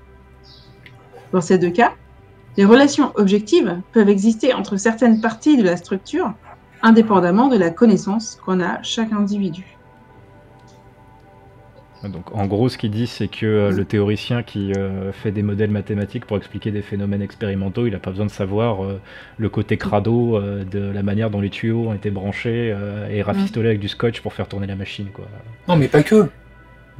Le, Ouais, par, rapport, par rapport au système de connaissances qu'est la physique, le type qui va travailler sur quel problème, il n'a pas besoin de savoir euh, les, les- les tenants et les aboutissements de ce qui se passe dans le laboratoire d'à côté. Quoi. Ouais. Oui, non, mais. Ça va C'est pas dire- l'empêcher Oui. euh, ça- ça va pas l'empêcher de creuser son petit bout, euh, son petit Oui, bout c'est de ça. physique. Bah, Et oui, chacun- chacun fait- Même si les deux travaillent sur, euh, je sais pas, le, le- le- le- le- Mm. le- le- les, les états énergétiques de l'atome de bord, ils n'ont pas besoin, tous les deux, Mm. ils travaillent sur le même objet, ils n'ont pas besoin d'avoir les mêmes connaissances pour travailler dessus. Mm. Voilà. Chacun a un bout, euh, a un bout de toutes les connaissances euh, des humains. Quoi. Ça, comme, comme dirait, comme dirait Brickmont, oui, enfin, c'est trivial. Le truc, en fait, encore une fois, c'est que, alors, déjà, c'est pas si trivial que ça, ça. Mais en plus, la question, c'est euh, de savoir ce que ça implique, en fait, sur le, sur le statut de la Mm. connaissance. C'est euh, le recours à l'argument c'est trivial, c'était très courant chez euh, Brickmont, même chez Mm. Cal ou Bouvresse. Voilà. Le truc, en fait, c'est qu'à chaque fois, ils font abstraction de ce que ça implique.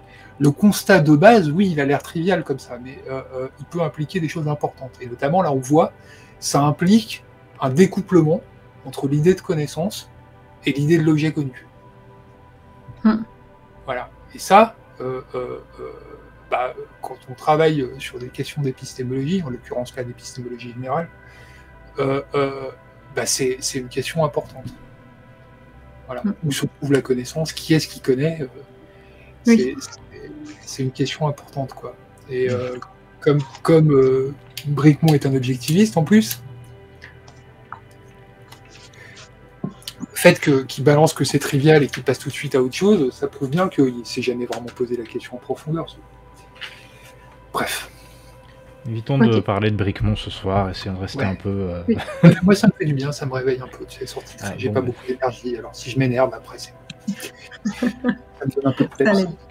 Un argument de poids en faveur de la position objectiviste est que les théories scientifiques peuvent avoir et ont souvent des conséquences qui n'étaient pas prévues par ceux qui ont été les premiers à proposer la théorie et dont ils n'avaient pas conscience.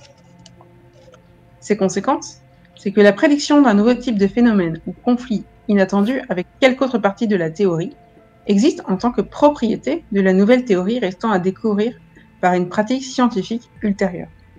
Ainsi, Poisson découvrit et démontra que la théorie ondulatoire de la lumière de Fresnel amenait à prédire l'existence d'une tache brillante au centre de la face ombragée d'un disque illuminé. Conséquence dont Fresnel lui-même n'avait pas eu conscience. On découvrit également divers conflits entre la théorie de Fresnel et la théorie corpusculaire de Newton, qu'elle mettait en question. Par exemple, la première précisait que la lumière devait se déplacer plus vite dans l'air que dans l'eau, alors que la seconde prédisait que la vitesse de la lumière dans l'eau devait être la plus grande. Ce type d'événement fournit une preuve convaincante que les théories scientifiques ont une structure objective, en dehors de l'esprit des scientifiques individuels, et ont des propriétés qui peuvent ou, non être découvertes et exhibées, et qui, ne sont, qui sont ou ne sont pas comprises par tel ou tel savant ou groupe de scientifiques. Voici un exemple un peu plus développé, qui devrait servir à illustrer, à illustrer ce point et en révéler également un autre qui lui est lié. Voilà, j'ai fini le paragraphe. Euh, Alors, euh, l'inconvénient de, lire doucement, par contre, c'est que je ne suis pas totalement certain, mais j'ai quand même, à la base, tout ça là, on était en train de parler de connaissances. Hmm. Tu peux, tu peux retrouver, tu peux retrouver le passage où il parle de, la position objectiviste sur, la, sur, le, sur le statut de la connaissance? Au début le, premier, le début de la section objectivisme, du coup, ou euh, plus, tôt? Vers le début, je pense qu'il devait introduire par autre chose vite fait, mais. Euh, bah, je, reprends au tout tout début, si tu veux. J'entends le terme objectivisme à propos du savoir comme le point de vue qui met l'accent sur le fait que certaines composantes du savoir, depuis les propositions simples jusqu'aux théories complexes, ont des propriétés et des caractéristiques qui dépassent les croyances et les degrés de connaissance des individus qui les conçoivent et les prennent en compte. Ouais, d'accord. Euh, c'était au début de, du segment. Non, on est au, on est au début du chapitre.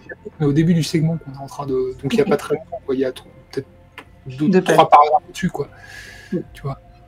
Euh, celui où je dis alors un individu qui vient au monde arrive dans un monde où existe déjà beaucoup de savoir. Celui qui vise à devenir physicien sera confronté avec un corps de savoir qui constitue l'état actuel du développement de la physique. et il faudra se faire. Oui, oui, c'est ça. C'est juste après. Euh, et il faudra se familiariser avec une grande partie de ce savoir s'il souhaite faire une contribution au domaine. L'objectiviste privilégie, dans son analyse de la connaissance, les caractéristiques des éléments ou des corps de savoir auxquels sont confrontés les individus, indépendamment de leurs attitudes, leurs croyances ou leurs autres états subjectifs. Pour utiliser un raccourci rapide, la connaissance est traitée comme quelque chose d'extérieur à l'esprit ou au cerveau des individus et non comme quelque chose d'intérieur. Ouais. Voilà.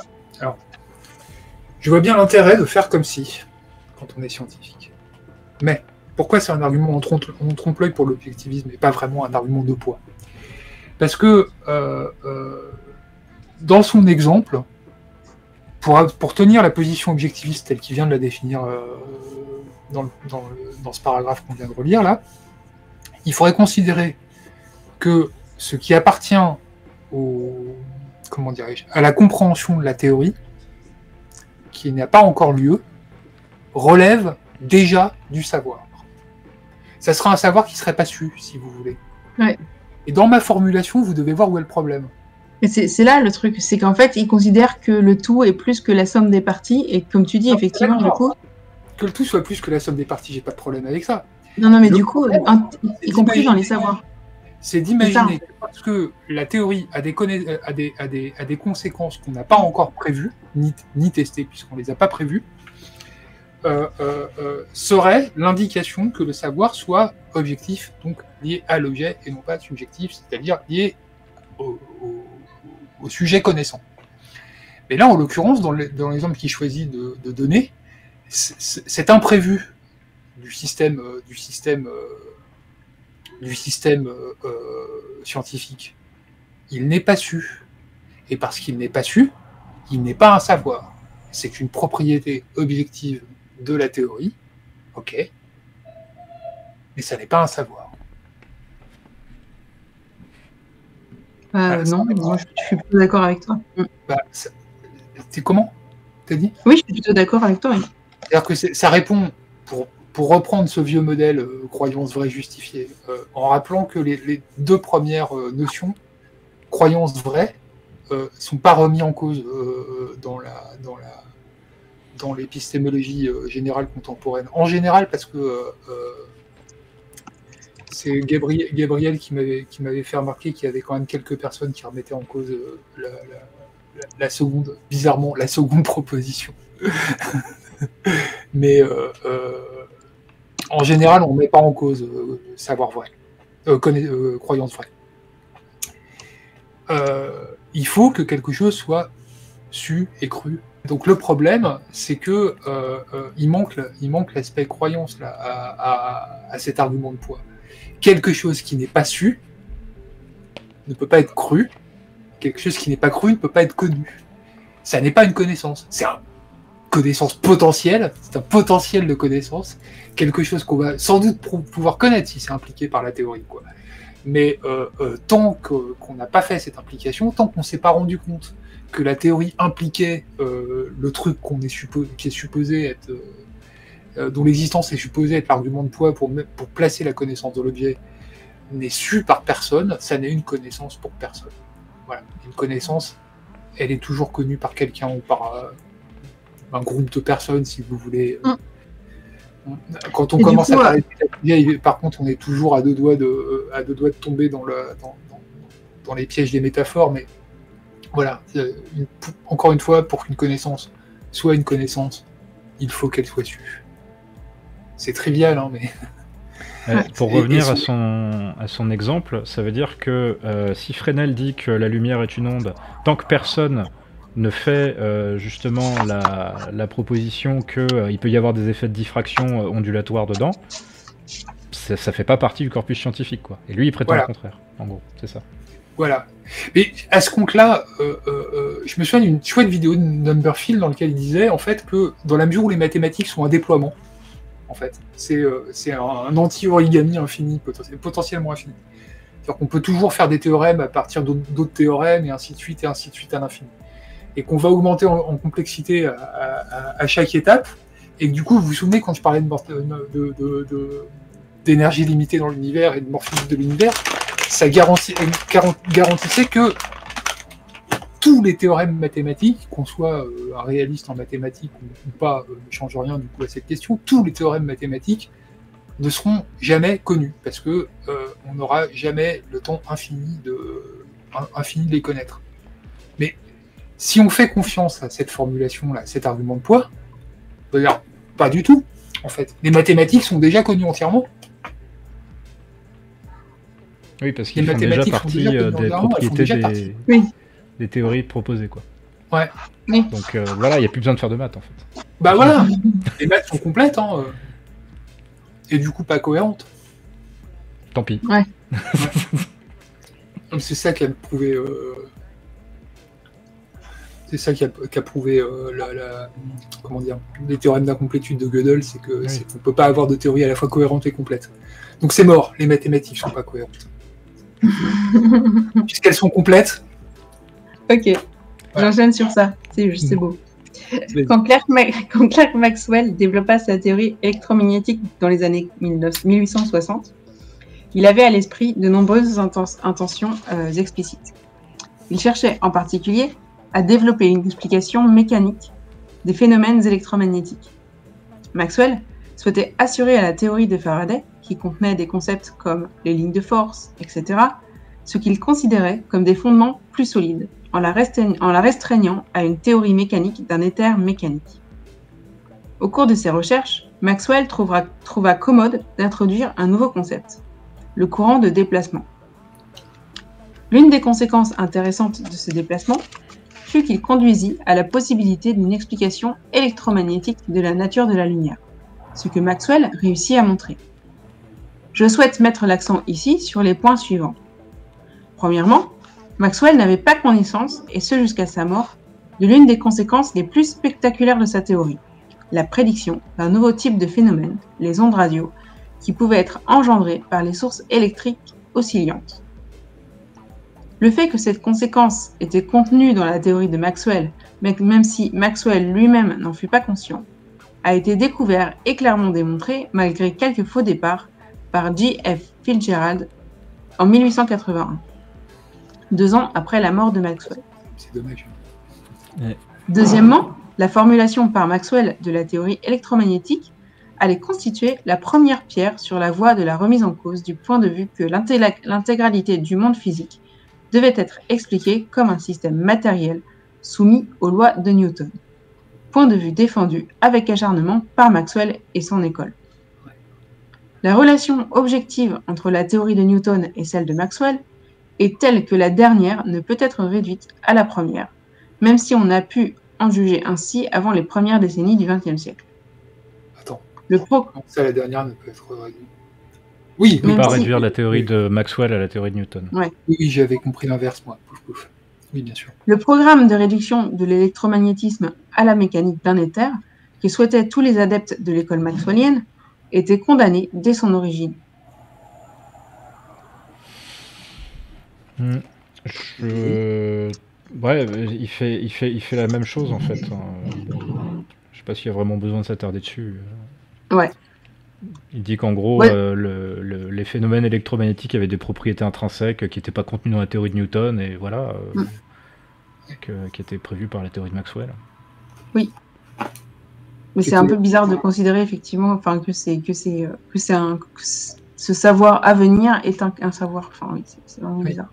Si, si on est toujours. Parce que il me semble pas qu'il y ait eu de transition vers autre chose que la question de la connaissance. S'il y avait une transition euh, vers autre chose que la connaissance, je ferais mon briquement en disant oui, c'est trivial. Mais là, en l'occurrence, euh, si on reste de- sur la question de la connaissance, et si on reste sur une définition objectiviste de la connaissance, dans ce cas-là, c'est pas du tout un argument de poids, c'est un argument en trompe-l'œil. Je vois en quoi il est séduisant, je vois pourquoi il, a- il a- il est pratique aussi, mais euh, euh, il est réellement faux. Voilà. Même s'il est pratique. Ok, je continue. Ouais. Voici un autre exemple qui appelle d'autres développements et qui confirme l'existence objective des situations à problème. Pendant que les Maxwelliens Oliver Lodge et Joseph Larmor cherchaient à formuler des modèles d'éther, d'autres physiciens du continent européen mettaient sur pied un autre programme dérivé de la théorie de Maxwell.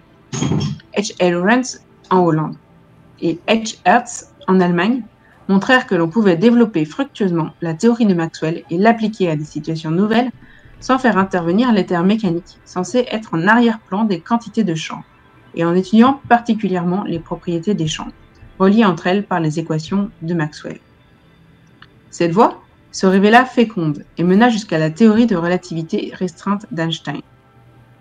Je désire euh, attirer l'attention ici sur le fait que le programme adopté par Lorentz, Hertz et d'autres était déjà présent dans les écrits de Maxwell en tant qu'opportunité subjective. Cette opportunité ne fut pas saisie par les Maxwelliens, mais par Lorentz. Euh, en plus, je suis, je, je suis obligé de ne pas Ça être d'accord avec, euh, avec ce qu'il dit en plus. Ouais, Au Oui, sens- euh, Germain au- Oui. Au sens Germain, où, ouais. euh, oui, euh, de, de- base. euh, Vous m'entendez? Oui, oui. Oui, oui.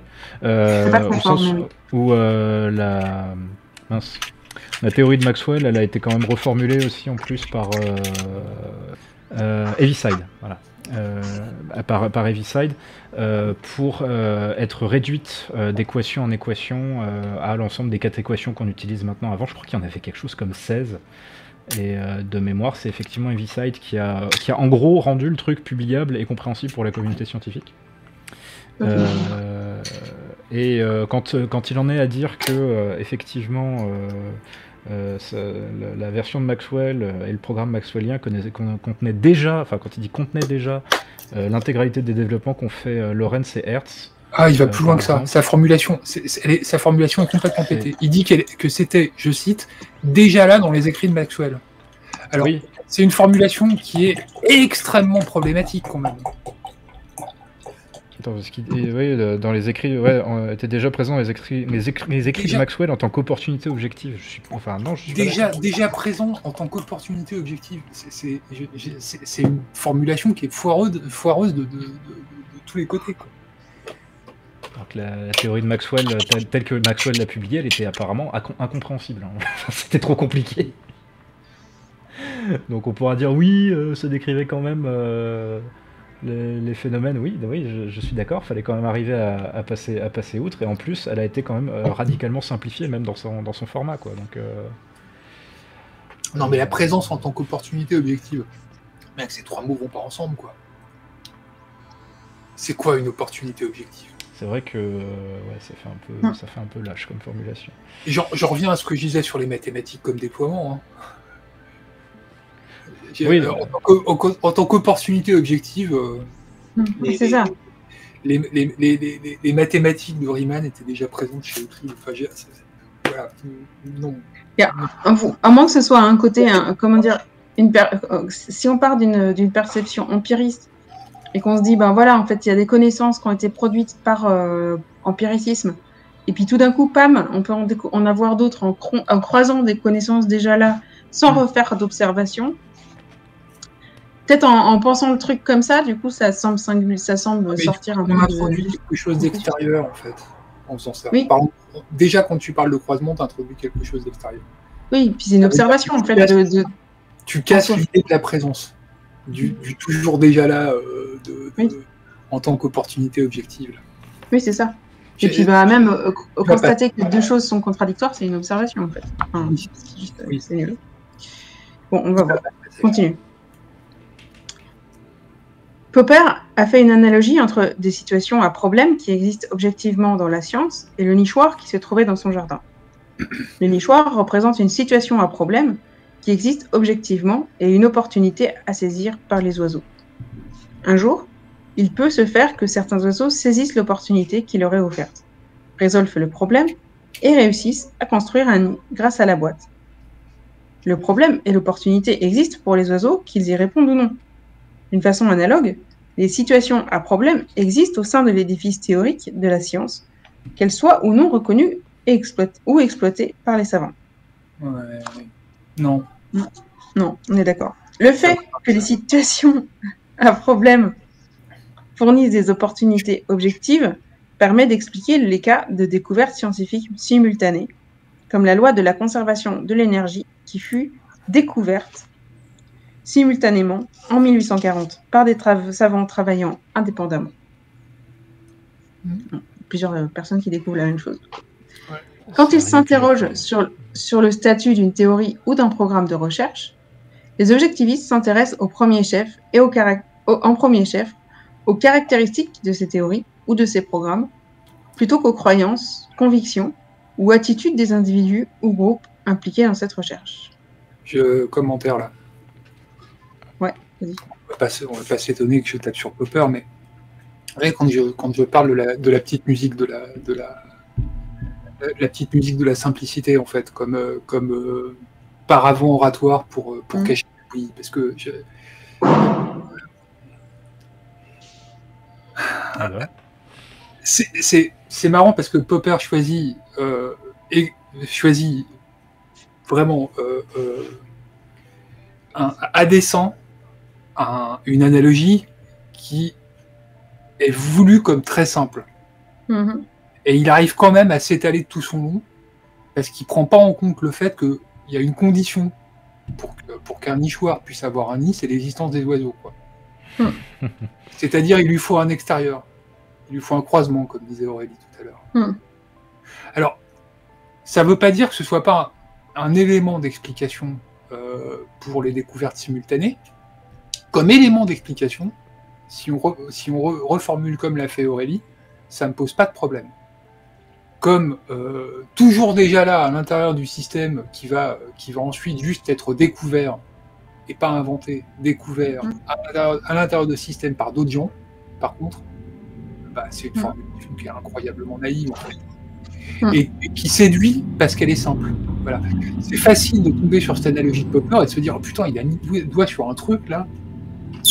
Ça a l'air super intéressant. Pourquoi? Parce que ça sonne vrai, précisément parce que c'est simple. Ça, s'appuie sur le même euh, sur le même genre de, procédé que l'appel au bon sens en fait. Ouais, pour l'instant, moi, je comprends pas du tout ce qu'il y a de différent entre euh, se rendre compte que euh, il y a des contradictions et, et se dire que c'est un problème à résoudre et faire des observations et se dire que c'est un problème à résoudre. Enfin, je veux dire, Mm. même d'un point de vue euh, Ouais. d'un point de vue épistémologique, pour moi, c'est pas c'est pas une il y a pas de différence en fait. Mais euh, bon. Donc voilà, je, je suis pas du tout satisfait de ce passage. honnêtement. Je veux dire, c'est la même chose que se rendre compte qu'il y a des choses qu'on connaît pas encore dans les observations autour de nous. Et puis, je veux dire, l'analogie, elle marche exactement de la même manière pour les observations qu'on n'a pas encore faites. Quoi. Et que quand on va les faire, ça va être en contradiction avec la théorie. Enfin, du coup, ça a juste. en plus, vraiment pas se rendre compte qu'il y a des choses qu'on n'existe pas, qu'on ne comprend pas encore, ça va pas de soi du tout. Hein. Je rappelle, à l'époque de Maxwell, on pensait que la physique allait être bouclée la semaine prochaine. Oui. Oui. Voilà. C'est, euh, euh, on était à deux doigts là, euh, un petit peu comme ce qu'on voit maintenant chez les, chez les, chez les, les réalistes naïfs. Hein. Ils ont toujours l'impression que ça va être bouclé la semaine prochaine. Les réalistes naïfs, de toute façon. Vous prenez un réaliste naïf, il est persuadé que les sciences vont être bouclées la semaine prochaine. Ah bah là, le, le, modèle standard, ça a été fini il y a, a 3-4 ans, là, il n'y a plus qu'à faire quelques fignolages et puis c'est fini. c'est pour ça qu'on va que le CERN essaye de débloquer 4, je sais plus, milliards d'euros de, sur X années pour, pour, ça, pour doubler le, le, rayon de son accélérateur. Quoi. Ouais, ouais. Et Hawkins, qui écrivait, qui écrivait, brillamment et qui était, un, qui était un brillant physicien, mais qui était euh, une brêle en épistémologie, a pu terminer euh, sa brève histoire de temps avec euh, la fameuse phrase effrayante là. un jour prochainement, nous pourrons directement regarder dans, le, dans, dans, le, dans la pensée de Dieu ou quelque chose comme ça. Ta connexion, elle est très mauvaise, Gaëlle, là, j'ai l'impression. Je crois que c'est pas moi. C'est, depuis depuis qu'il existe des, depuis qu'il existe des, des épistémologues et il existe des épistémologistes, des épisté voilà, des réalistes naïfs et depuis qu'il existe des réalistes naïfs, euh, euh, ils ont toujours pensé que ça allait être résolu, la physique allait être bouclée la semaine prochaine. Bon, bref. Depuis le temps, il devrait. Gaël, Gaël, stop, stop, stop. Ton son est très mauvais. Ton son est très mauvais. Du coup, c'est. Il vaut mieux que ça se stabilise avant que. Euh, on, a eu, on a eu ce que tu disais, mais il vaut mieux que ça se stabilise. Euh, ouais. Je veux entendre. Là, c'est mieux. Ça y est. Ouais, là, c'est bon. Ok. Bon. Bah, j'ai le micro devant la bouche, là, alors peut-être que ça va aller mieux, ouais. Euh, voilà, un jour, un jour prochain, on pourra lire directement dans la pensée de Dieu. Bon, Bon, il était athée, hein, ça veut pas, dire Dieu. Euh, ça Je t'arrête On continue On va la physique. Non, parce que j'aimerais continuer mon rente un peu si tu veux bien. T'as pas fini? Bon, bah du coup, j'ai perdu le fil, c'est pas grave. T'as perdu le fil. Tu parlais des du fait qu'il y avait toujours eu des épistémologistes. Des... Depuis qu'il y a des épistémologues, il y a des épistémologistes naïfs. Des réalistes naïfs, ouais. Depuis qu'il y a des réalistes, des réalistes naïfs, et voilà. Le fils va être bouclé la semaine prochaine. Mais ça, j'ai déjà dit. J'allais quelque part à la base mais je sais plus. Euh, bon, bref, je suis pas satisfait de ce passage. Ok. L'impression est pas, est pas terrible. donner, euh, j'ai l'impression qu'il essaie de donner des, des, credentials euh, aux objectivistes hein, et hmm. qui, fait, qui, fait, qui fait un peu ce qu'il peut. mais vraiment, il y a, y a enfin, il y a un côté appel au bon sens en fait dans, dans, dans, dans les, dans les raisonnements Mmh. depuis, depuis, depuis le début de ce passage, en fait. Et voilà, on l'a perdu complètement. Allô? Je m'attendais un peu. Allô? Non, moi, je... Ça va, c'est peut-être... L'important, c'est qu'on m'entende dans le... Ah, ah on, m'entend dans le... Ouais, je pense. Ouais, si, si, on m'entend, j'ai vérifié. Donc c'est moi, c'est chez moi que ça marche pas bien. D'accord, Et vous m'entendez bien, moi? Oui, oui, on t'entend. J'allais conclure, là, putain, j'avais ma phrase de conclusion et tout.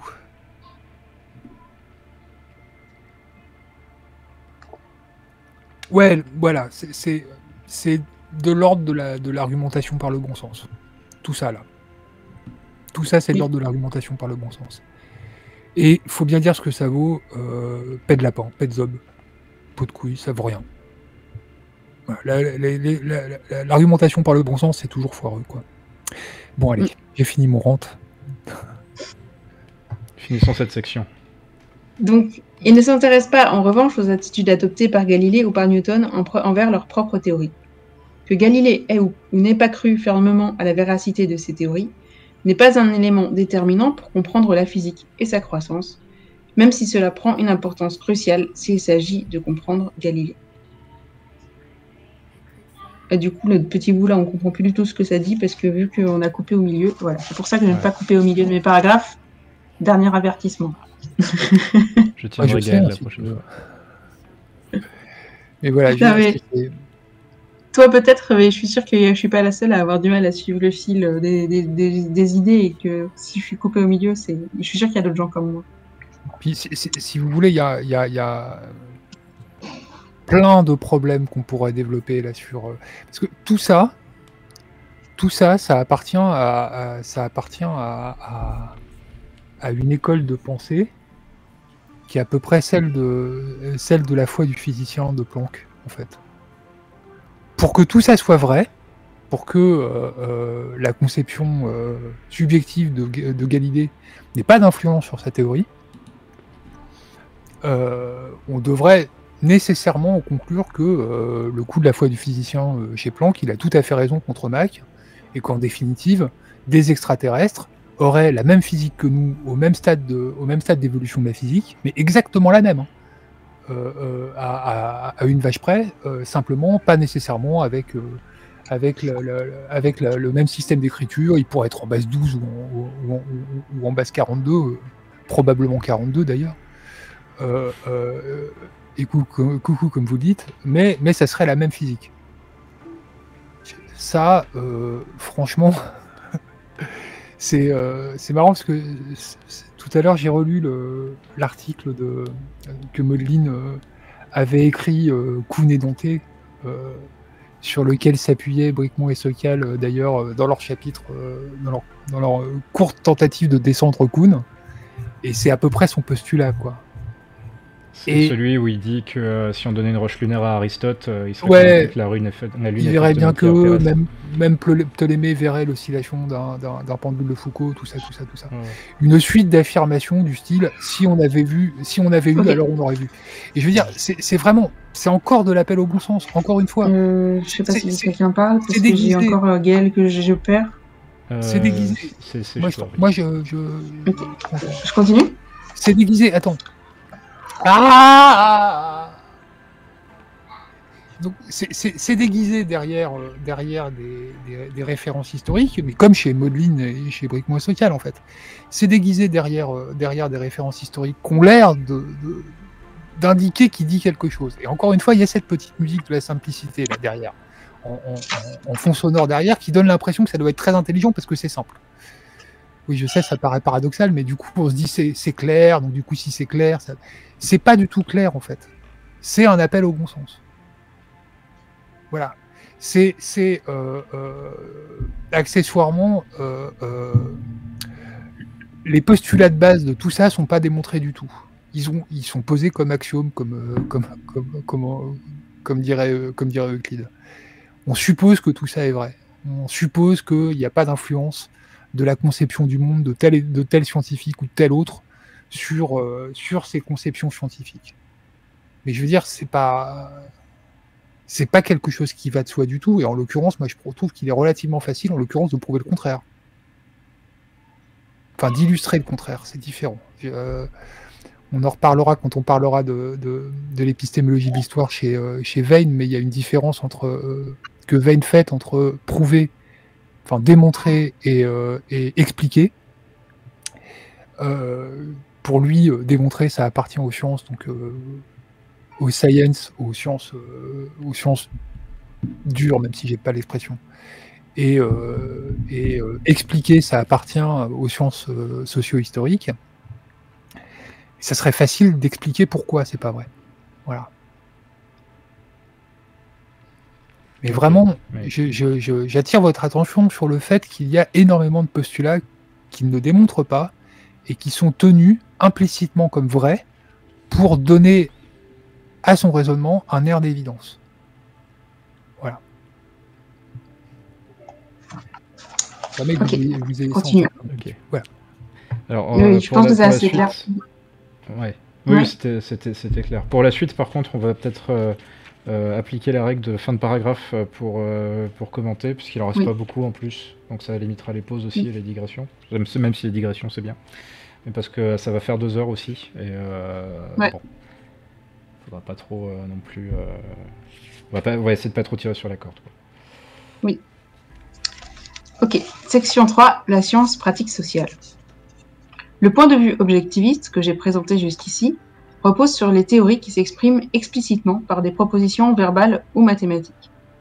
Cependant, la science ne se réduit pas à cet aspect.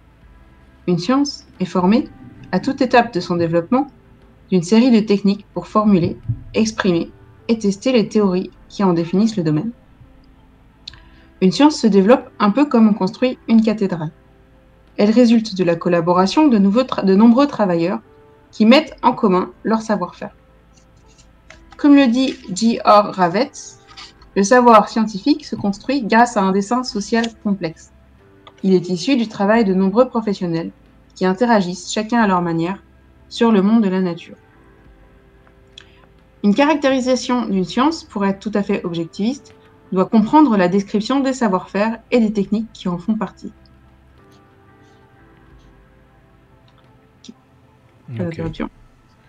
La pratique de la physique depuis Galilée possède un trait général caractéristique, celui d'inclure l'expérience. L'expérience consiste en une interaction planifiée, guidée par une théorie avec la nature. Une situation artificielle est construite en vue d'explorer et de tester la théorie. Ce type de pratique expérimentale n'existait pas dans la physique d'avant Galilée. On verra une conséquence importante du fait que la physique inclut l'expérience dans ses fondements mêmes au chapitre 13 et 14. Ah, ce sera plus loin quand même ça. Mais euh, oui, bon, jusque, jusque là, effectivement, Gaël a raison. Euh. On est au chapitre 10. Hein, oui. Ouais, là, euh, jusqu'à présent, il essaye de, de stylmaner l'objectivisme. C'est vraiment l'impression que ça me fait. Il essaie de stylmaner l'objectivisme. Euh, et c'est pénible parce qu'en fait, l'objectivisme, peut-être qu'il le décrit, euh, qui existe réellement en plus. C'est pas juste une vue de l'esprit, quoi. Euh, c'est. Stylmaner, ça sert pas à grand chose. Ça, ça, fuit partout. Mm. C'est ce que je trouve assez vaine. En fait. Mais ce que je comprends pas, c'est pourquoi il met là, quoi pourquoi cette partie-là, il la met là et euh, je veux dire, on a dans la structure du livre. Ouais, normalement, c'est normalement c'est une position euh, qui, a, déjà été démontée dans les chapitres précédents, donc c'est assez ouais, c'est ça. Mais euh, vraiment ça. Le truc, autant que je me souvienne, Chalmers a, a tiré son ouvrage là, il l'a tiré de sa thèse et on sent bien là, dans ce passage-là, justement, le côté euh, universitaire de l'origine. De... Parce qu'on ne peut pas s'attaquer à des positions qui sont jugées comme respectables, comme si elles ne l'étaient pas, surtout pas dans une thèse.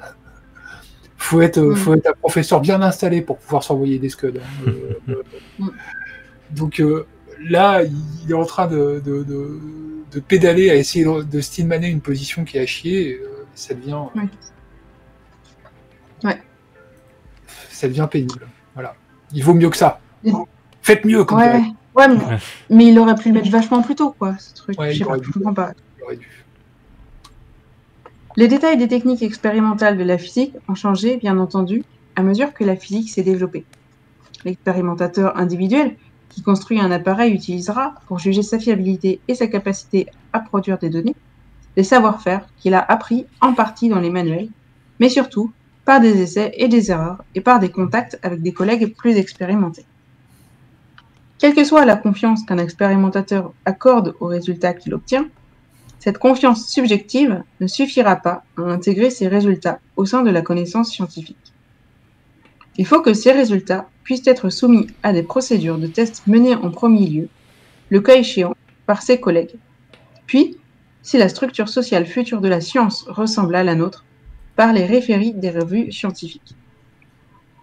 Si les résultats surmontent avec succès l'épreuve de ces tests et finissent par être publiés, la possibilité est ouverte d'entreprendre de nouveaux tests sur une plus vaste, une plus vaste échelle. Publiés peuvent très bien être finalement rejetés à la lumière d'autres développements expérimentaux ou théoriques. Attention au clavier, on peut couper le micro s'il vous plaît. Oui. Ce processus amène à considérer une découverte expérimentale qu'elle porte sur l'existence d'une nouvelle particule fondamentale, une meilleure précision de la vitesse de la lumière, ou toute autre chose comme le produit d'une activité sociale complexe et non comme la croyance ou l'apanage d'un individu. Pas de commentaire. Euh... Ouais, bah là, là, il fait juste euh, une, une, présentation, une reformulation d'une partie des arguments de, oui. De, de coup, Nepomuk quelque part. Euh, il, a déjà, il a déjà un peu développé ça dans les chapitres d'avant, en fait. Ça me... Ce passage, il me pose d'autres, de problèmes que c'est effectivement très très important. On a, on a, on a tendance à personnaliser plus simple. comme mm. tout à l'heure, je parlais de la relativité et du coup j'ai évoqué, j'ai évoqué Einstein, quoi c'est plus simple, mais ça a l'énorme problème de, cacher le, caractère fondamentalement euh, social de la production. Y compris à l'époque où, euh, euh, les gens étaient, les scientifiques étaient dispersés chacun, chacun dans son petit laboratoire, l'équivalent au moment de ses recherches il construisait, euh, il construisait à partir de ses correspondances avec d'autres scientifiques, euh, en, discussion perpétuelle avec d'autres scientifiques, dans, des environnements donnés. On avait déjà évoqué avec Germain le fait que, par exemple, Galilée, Galilée était. Euh, ce qu'il disait n'était pas du tout scandaleux pour, les pour les astronomes de son époque. Par contre, on avait pas mal de lui, de lui avoir dit d'essayer d'arrêter de, poker le bear parce que c'était pas le moment, mais. mais euh, on, en a pas, on en a parlé ailleurs, mais effectivement, euh, Galilée a surtout été euh, mis, mis au banc parce qu'il a, parce qu'il a voulu emmerder l'Église plus que parce que ce qu'il disait était hmm. provoquant. Tout à fait. Puis mis au banc, c'est bon, il a, il a, il a, deux ans d'assignation à, résidence avec, euh, avec, euh, avec euh, interdiction d'enseigner pendant ces deux ans. Ce qui a donné le, très beau début de son, premier cours après deux ans d'interruption.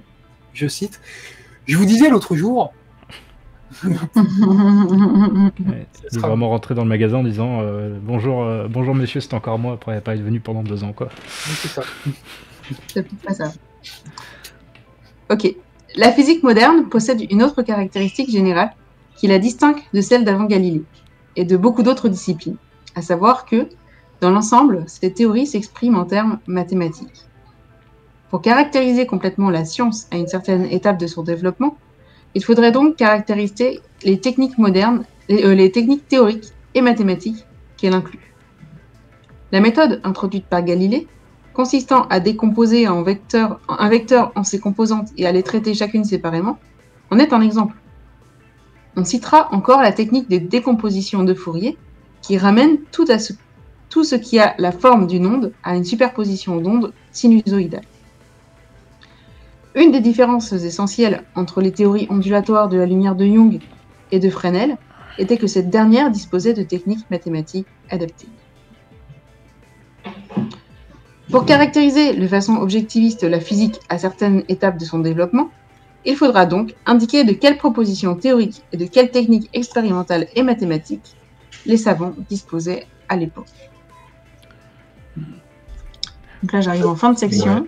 que c'est quand même, enfin, c'est un peu, euh, c'est un peu, euh, un peu trop modeste comme programme, je trouve, parce que en tant que en tant qu'individu, on peut toujours se limiter à ça.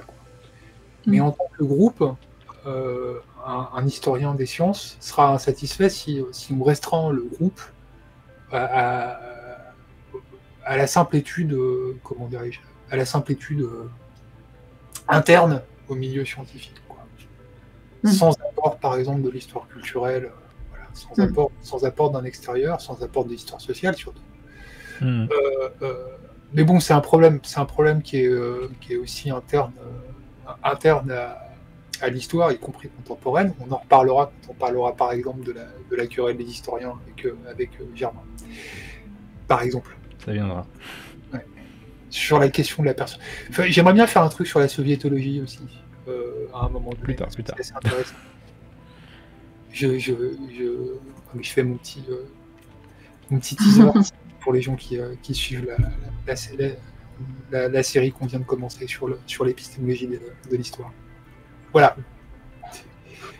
J'ai pas de problème avec, même si je trouve que c'est un peu trop limitant euh, de le formuler comme ça.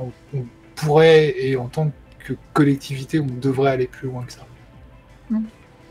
Le seul truc qui m'agace, moi, c'est qu'il il intitule la section la, science pratique sociale et il décrit effectivement bien euh, euh, la manière dont la, science se fait d'une part, et il prend euh, la, la particularité de la physique d'avoir des formulations mathématiques d'autre part. Bon, il a dit qu'il servirait de la physique comme maître étalon, mais c'est pas systématique dans les pratiques euh, scientifiques.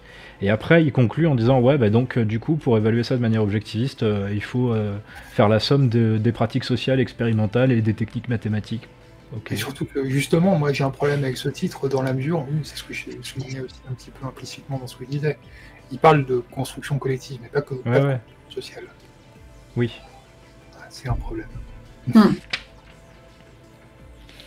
Ok, dernière section de ce chapitre. Donc, section 4. euh, Popper, Lacatoche et Marx, défenseurs de l'objectivisme. Ok. Popper Le la point de Cat- vue- Marx, Ouais, et Marx. euh, il va falloir qu'il argumente euh, serré parce qu'il Ouais. y a un problème là. C'est ça. On est d'accord. Alors, on va voir. Le point de vue sur le savoir que j'ai appelé, en suivant Musgrave, objectiviste, fut adopté et vigoureusement défendu par Popper et Lacatoche. Un recueil d'essais de Popper est intitulé de façon significative La connaissance objective, Objective Knowledge. En voici un passage. Donc, citation. Ma thèse implique l'existence de deux sens différents des termes connaissance ou pensée. La connaissance ou la pensée au sens subjectif qui consiste en un état d'esprit ou de conscience ou en une disposition à se comporter ou à réagir. Et deux, la connaissance ou la pensée au sens objectif qui consiste en problème, théorie et argument en tant que tel. La connaissance en ce sens objectif est totalement indépendante de l'affirmation de quiconque prétendant connaître.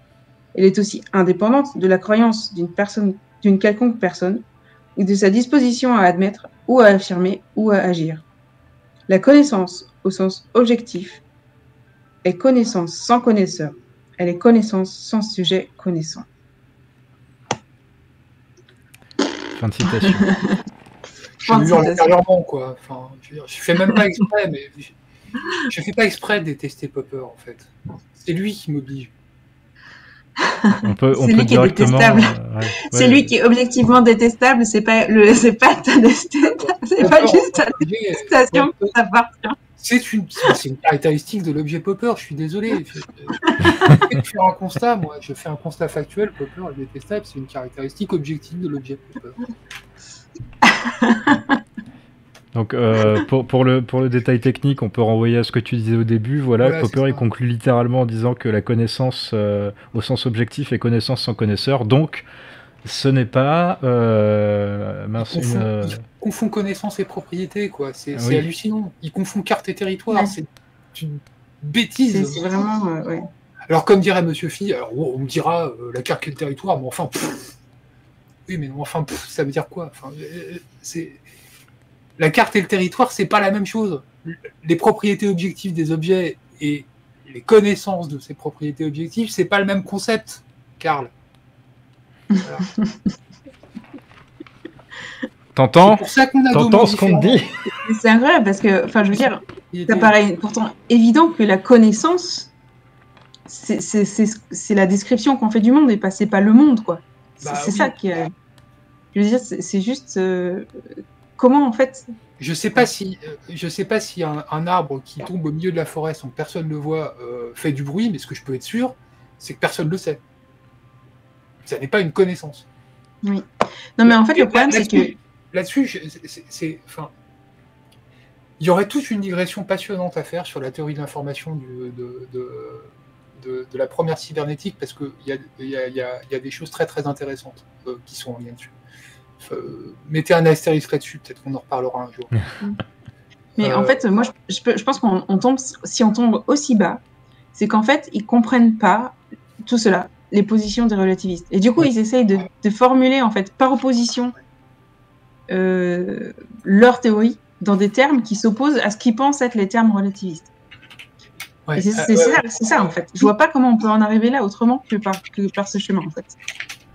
Alors, je vais, je vais vérifier, je vais vérifier, euh, je vais vérifier la date de la connaissance historique. euh, la je crois que c'est un, putain, 1973.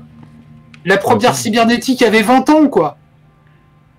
Et le mec, il, le, le mec, il fait comme si, il fait, il fait comme si ça n'existait pas. Bah, Ouais, il connaissait il pas. en- il en a probablement aucune connaissance. La théorie de la formation de. Je veux dire, il fait ça. Alors, pour vous donner, euh, pour vous une idée- euh, une idée- euh, donner une idée, il fait ça la même année qu'un putsch met fin à une tentative de mise en place d'une expérience euh, euh, de, de- de- de cybernétique socialiste à l'époque de, à l'époque de la, de la, de- du Chili d'Allende, en fait. La même année que, que le, le putsch de, de- de- le putsch de Pinochet au Chili, quoi. C'est-à-dire que à l'époque où euh, on met fin par la force à un, un- un- à un gouvernement qui était en train de mettre en place un, système pratique basé sur la cybernétique. Bon, j'imagine bien que Popper, ça n'a pas dû l'intéresser parce que justement, c'était un truc de socialo, ça. Voilà. Et lui, c'était, euh, lui, c'était, euh, un, libéral dans la veine de, dans sous-merde comme, euh, comme, Hayek ou, ou toute, la bande de potes qui, fré- qui fréquentait, la société du Mont-Pèlerin. Donc tout ça, évidemment, il risquait pas d'en prendre connaissance parce que c'est pas comme s'il allait s'intéresser à des gens qui n'étaient pas d'accord avec lui, hein, en vrai. Quand on voit toutes les conneries qu'il a pu, bala- qu'il a pu balancer à Adorno et Horkheimer sur, euh, sur la sociologie, euh, et sur la leur en particulier, on se demande même s'il les avait lus, quoi. Bref. Oh non, il est encore parti, Germain. Euh, Oh. Ou bien c'est chez moi? Non, c'est bon. Non, ça doit être chez toi. C'est bon. Moi, Ok. je vous ai. Bon, Je j'en profite euh, pour continuer. Ouais, ouais, vas-y, je filme. Vas-y, vas-y. La Katoche euh, appuie sans réserve l'objectivisme de Popper et considère que sa méthodologie des programmes de recherche scientifique relève d'une vision objectiviste de la science. Bon, en fait, euh, ils disent objectiviste pour réaliste, quoi. Il Ouais. parle du clivage entre la renaissance. Ouais, c'est ça. Il parle du clivage entre la connaissance objective et ses reflets distordus dans les esprits des individus. Et Ouais. observe dans un passage plus long. Une théorie, euh, donc citation. Une théorie peut être pseudo-scientifique, même si elle est éminemment plausible, si chacun y croit. Elle peut être scientifiquement valable, même si elle est incroyable et si personne n'y croit. Une théorie peut même avoir une valeur scientifique de la plus haute importance, même si personne ne la comprend. Du coup, je ne sais pas qui donne la valeur, hein. sans même tenir compte du fait que quelqu'un y croit. La valeur cognitive d'une théorie n'a rien à voir avec son influence psychologique dans l'esprit des gens. La croyance, l'adhésion, la compréhension sont des états de l'esprit humain. Mais la valeur objective scientifique d'une théorie est indépendante de l'esprit humain qui la crée ou la comprend. Ah bah ça va plaire aux théoriciens de la mémoire de l'eau, ça. Ouais. Ouais. Euh, pour, pour, euh, après, pour- après, ce qu'il dit, euh, ce qu'il dit est pas, est pas complètement absurde, mais c'est une position qui est réaliste. Mais ça, on en a déjà, par- on en, on en a déjà parlé hein, sur, le- sur la position de Popper. Elle est réaliste. Euh, je crois que la, la meilleure analogie, c'est, euh, c'est vous mettez la science à la place de l'esprit, vous prenez l'histoire chez Hegel et vous avez à peu près la même chose. Il n'y a personne qui C'est- va comprendre ça. c'était la catoche. hein, C'est parce que j'en ai déjà parlé, euh, j'en ai déjà parlé ailleurs. Donc, comme à peu près tout le monde euh, qui est là euh, a déjà eu l'occasion de m'entendre, de m'entendre en parler. Mais si vous voulez, dans, dans, dans le système, euh, c'est, une analogie que je fais. hein. C'est pas une invitation. c'est pas c'est pas c'est pas à prendre au, premier- au- au pied de la lettre, c'est une analogie. Si vous le for- formulez le système de, l'histoire hegelien, l'esprit se réalise à travers l'histoire.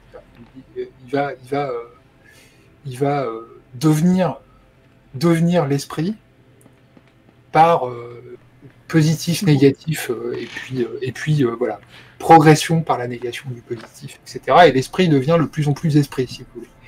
Et chez Lakatos, c'est un petit peu la même chose. Vous avez, euh, vous partez d'une conception naïve de l'objet. Dans, dans, euh, dans euh, mon bouquin préféré de Lakatos, euh, euh, merde, celui qui est construit comme un dialogue dans une salle de classe, euh, où il parle de, la relation de l'heure. Euh, euh, vous avez, euh, euh, vous avez une conception naïve de la, de la, ce qu'il appelle une conception naïve de la, de la, du polyèdre, et puis par euh, découverte de monstres et exclusion des monstres, vous allez av- avoir un raffinage en fait de, euh, de cette conception naïve jusqu'à arriver à la nature même du polyèdre euh, euh, une fois qu'on aura bien nettoyé le concept. Quoi. Vous avez un polyèdre préexistant, un, un- concept de polyèdre préexistant. Mais là où, euh, l'Akatos, qui reste un, qui reste un, falsificationniste, hein, mais ça on l'a déjà vu dans, le chapitre que, que Chalmers consacrait à l'Akatos, là où l'Akatos va quand même hériter de cette lourdeur qu'il doit à son maître Popper, même s'il a considérablement amélioré le, falsificationnisme si on compare au falsificationnisme popperien. Oui, voilà, preuve et réfutation, tout à fait. Euh, euh, bah, vous avez encore cette lourdeur là de, confusion entre la connaissance et l'objet et, le, et les propriétés objectives.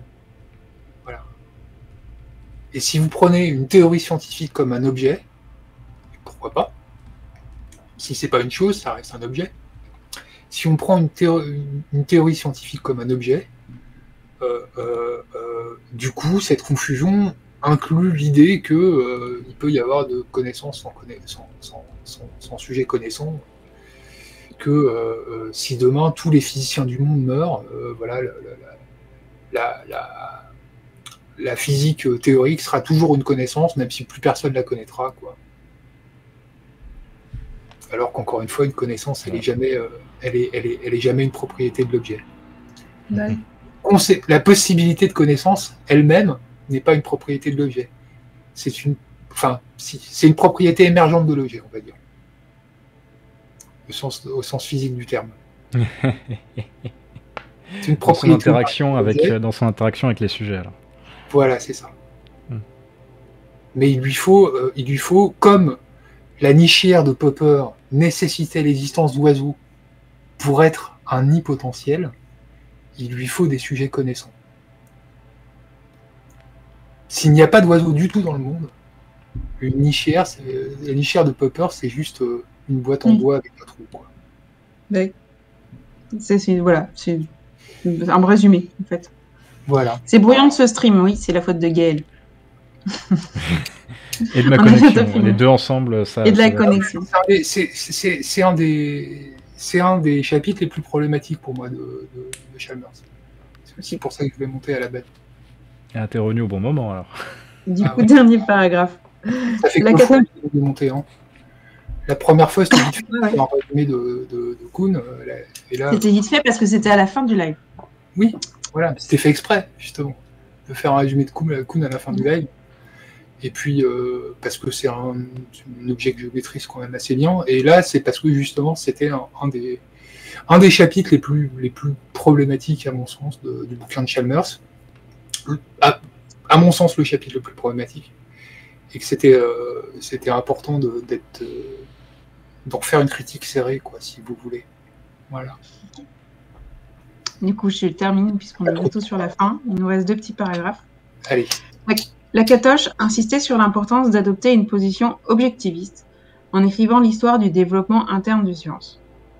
Un historien popperien, éternaliste, n'éprouvera pas la moindre nécessité de s'intéresser aux personnes impliquées, pas plus qu'à la foi qu'elles ont envers leurs propres activités. Fin de citation. Par conséquent, l'histoire du développement interne du science sera l'histoire d'une science désincarnée. petit, petit commentaire de Gaël. Ouais, ouais. D'abord, un historien popperien, c'est un, un, mauvais historien. Pas, forcément, c'est un mauvais historien. Sinon, il ne serait pas popperien. Et surtout, ce qu'il y a, c'est que là, la Catos, on voit qu'il ne sait pas de quoi il parle quand il parle d'histoire. Parce que euh, euh, il, y a des, historiens qui sont encore attachés à une théorie des grands hommes, et là encore, on aura l'occasion d'en reparler, notamment quand on parlera de, la querelle des historiens en Allemagne. Euh, l'histoire, principalement, maintenant, c'est une version ou une autre de l'histoire sociale. C'est-à-dire que c'est à la fois une histoire qui est euh, désincarnée dans le sens où elle ne fait pas intervenir des grands hommes, des personnalités, mais c'est en même temps une histoire euh, qui n'est pas euh, désubjectivée. C'est juste qu'elle s'intéresse, qu'elle s'intéresse plus à, des ensembles de sujets. Mais elle n'est pas objective pour autant elle n'est pas désubjectivée. Hmm.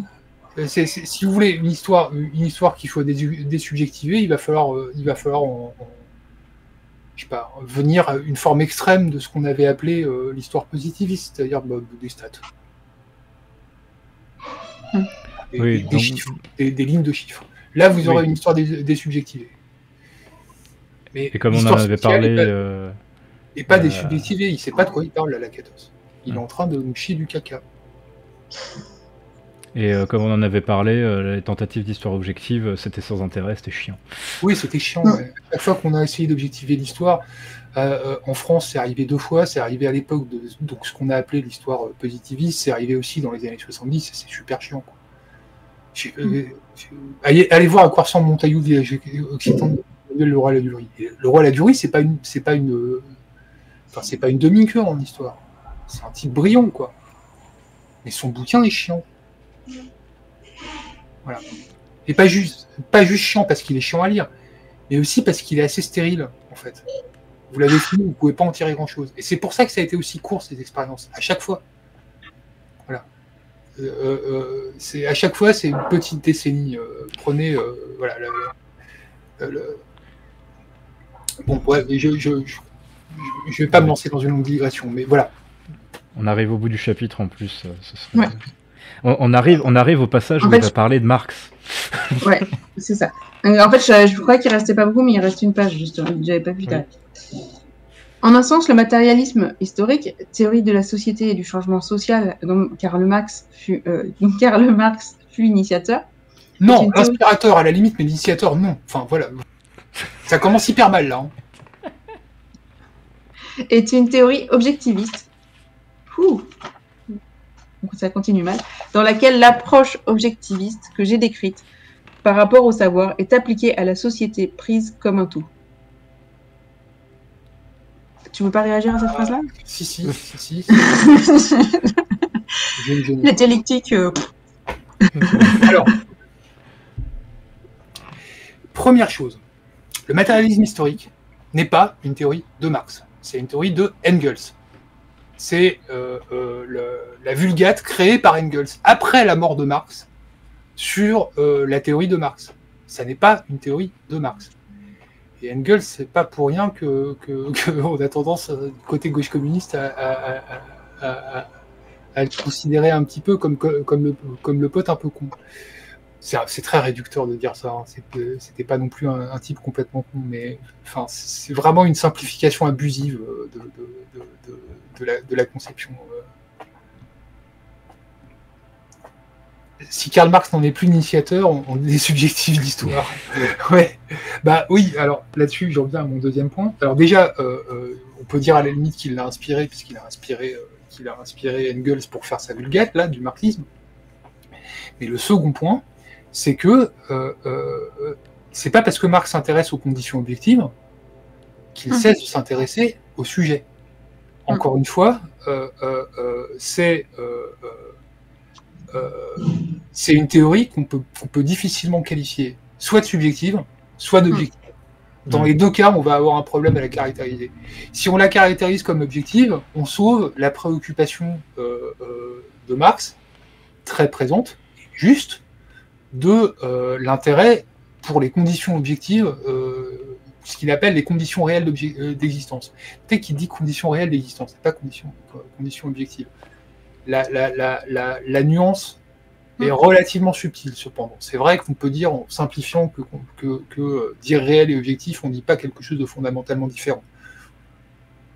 Encore une fois, réel, c'est res, l'objet, donc la chose, enfin la chose, donc l'objet. Bon. Mais c'est parce que ces conditions sont vécues que l'histoire existe. Et si vous voulez, euh, euh, euh, il y a une citation assez célèbre de Marx, alors que je vais devoir vous sortir de mémoire. Attends, il, y en a- il en fait une euh, juste après. Est-ce que c'est pas celle-là L'anti-Turing est de, est de Engels, hein, euh, Glitch. Ah ouais, oui, c'est ce que vous dites. Oui, Ouais, oui. Euh, euh, Il y a une citation de Marx juste après. Donc, euh, je sais pas euh, si c'est celle-là. une citation de Marx hein. Non, mais Ouais. où Marx dit, alors je vais, je, je vais la, je vais la paraphraser, tant pis, ce ne sera pas la citation exacte, mais Marx dit ce sont les hommes qui font l'histoire, mais ils les, et en gros, ils la font pas, ils la font pas dans n'importe quelle condition, et ils sont, euh, euh, ils sont, euh, leurs conditions sont bornées par leurs conditions réelles d'existence, par l'état objectif du monde dans, dans, dans lequel ils apparaissent. Et si vous alors- les qualifiez d'objectif, vous sauvez la, vous sauvez la seconde partie. de cette citation. Mais, si, mais vous perdez la première. Et si vous la qualifiez de subjective, la théorie de Marx, vous, vous sauvez la première partie, c'est les hommes qui font l'histoire, mais vous perdez la seconde. On ne peut pas qualifier Marx soit d'objectif, soit de subjectif. Ça n'a pas de sens. Mmh. Ok, donc du coup, euh, je, si tu veux, je continue, puis tu vas me dire si c'est cette citation-là. Après, non, c'était pas la même, mais après avoir dit, après que Gaël ait dit que ça n'avait pas de sens de qualifier Marc de subjectif ou d'objectif, on va continuer avec Chalmers. Aurélie, je te laisse lire. Parce que... Ouais. Du coup, il dit L'objectivisme de Marx apparaît clairement dans sa remarque célèbre. Citation Ce n'est pas la conscience des hommes qui détermine leur être, c'est inversement leur être social qui détermine la conscience. Fin de citation. Ouais. Mais je, comprends pas. Il comprend pas les mots euh, être, euh, le mot être, Chalmers? Est-ce qu'il comprend le mot être chez, chez, dans la philosophie allemande? Non, mais en fait, le problème. c'est cette phrase qui fait de Marx un matérialiste, au sens que le, ouais. que le mot oui. a euh, dans, euh, justement dans la philosophie allemande de son époque, par opposition à l'idéalisme. Mais, mais ça fait pas de lui un objectiviste, ça fait de lui un matérialiste. Il, il nous parle d'un rapport entre l'être et la conscience. Les deux sont des caractéristiques du enfin, sont, sont, sont, des, des sont des, des, concepts qui sont directement liés au sujet. Aucun des deux n'est un objet. C'est dingue que ça lui échappe. Alors, entre deux super euh, remarques de Suze, euh, je réponds à Glitch qui demande si euh, il est francophone, point d'interrogation. Chalmers est non, australien, si je ne me trompe pas. Ou australien, oui. Il y en a un des deux, parce qu'il y a deux Chalmers assez connus en, en épistémologie. Et Alan, Alan, il est. Bah, il n'est pas prof à Melbourne, lui. Université Queensland Press. Donc, ah oui. Est-ce que, le à cause de... Est-ce que Chalmers comprend le mot être? Ouais. Par rapport à la. Oui, comment c'est traduit dans il, est, il est né en Australie, oui, tout à fait, c'est ça. Ouais. non, on ne sait pas comment c'est traduit. Il y a des fois, il y a des traductions de certains trucs euh, qui sont euh, carrément fautive euh, et qui change ouais, complètement. C'est pas le cas là. C'est pas le cas là. Je veux dire, euh, à la limite, on pourrait toujours dire qu'il a eu une mauvaise, une mauvaise tradition de, traduction de Marx en main, peut-être. Mm. Mais il euh, n'y a pas. Enfin, il n'y a pas de. de, de... Non, mais c'est beaucoup plus plausible de penser que qu'il fait une interprétation fautive, comme on disait, de. De Marx, là, en l'occurrence. Bah, de Marx, mais pas que de Marx, quoi. Bah, enfin, de Marx, euh, mais à travers Marx, de ce qu'on dit, ce qu'on dit quand on est relativiste, je pense. Bah, dire, Marx n'était pas relativiste, hein, mettons bien d'accord. Dans oui. aucune définition du terme, Marx n'était relativiste. Euh, euh, mais il était euh, ce que ce que Chalmers, la citation de que Chalmers met en avant, c'est la citation qui fonde le, matérialisme de Marx. Mais ça fait pas de lui un objectivisme pour autant, encore une fois. Euh, euh, Je veux dire, c'est, euh, c'est qu'en fait, c'est comme s'il interprétait comme la conscience des hommes qui déterminerait leur être, comme si, en fait, ce qu'on produit comme connaissance, c'est ça qui impactait ce que sont les objets. Alors que personne dit ça dans aucune épistémo, en fait. Ouais. Oui, mais et là encore, mais là encore, c'est une citation qui est utilisée complètement, complètement hors sol, en fait, parce que ça n'est pas ça n'est pas dans ce débat qu'elle s'inscrit. Ça, ça s'inscrit dans oui, débat entre l'idéalisme, euh, entre l'idéalisme et le réalisme. Oui. -dire, euh, ça c'est le matérialisme. débat. Est-ce que euh, est-ce que c'est est-ce que c'est parce que des gens ont eu l'idée de faire de, la, de, de, faire des comptabilités à 12 entrées qu'on a eu le capitalisme, ou, est, ou est-ce que c'est les conditions de, du premier capitalisme qui ont fait que des gens ont eu l'idée en fait?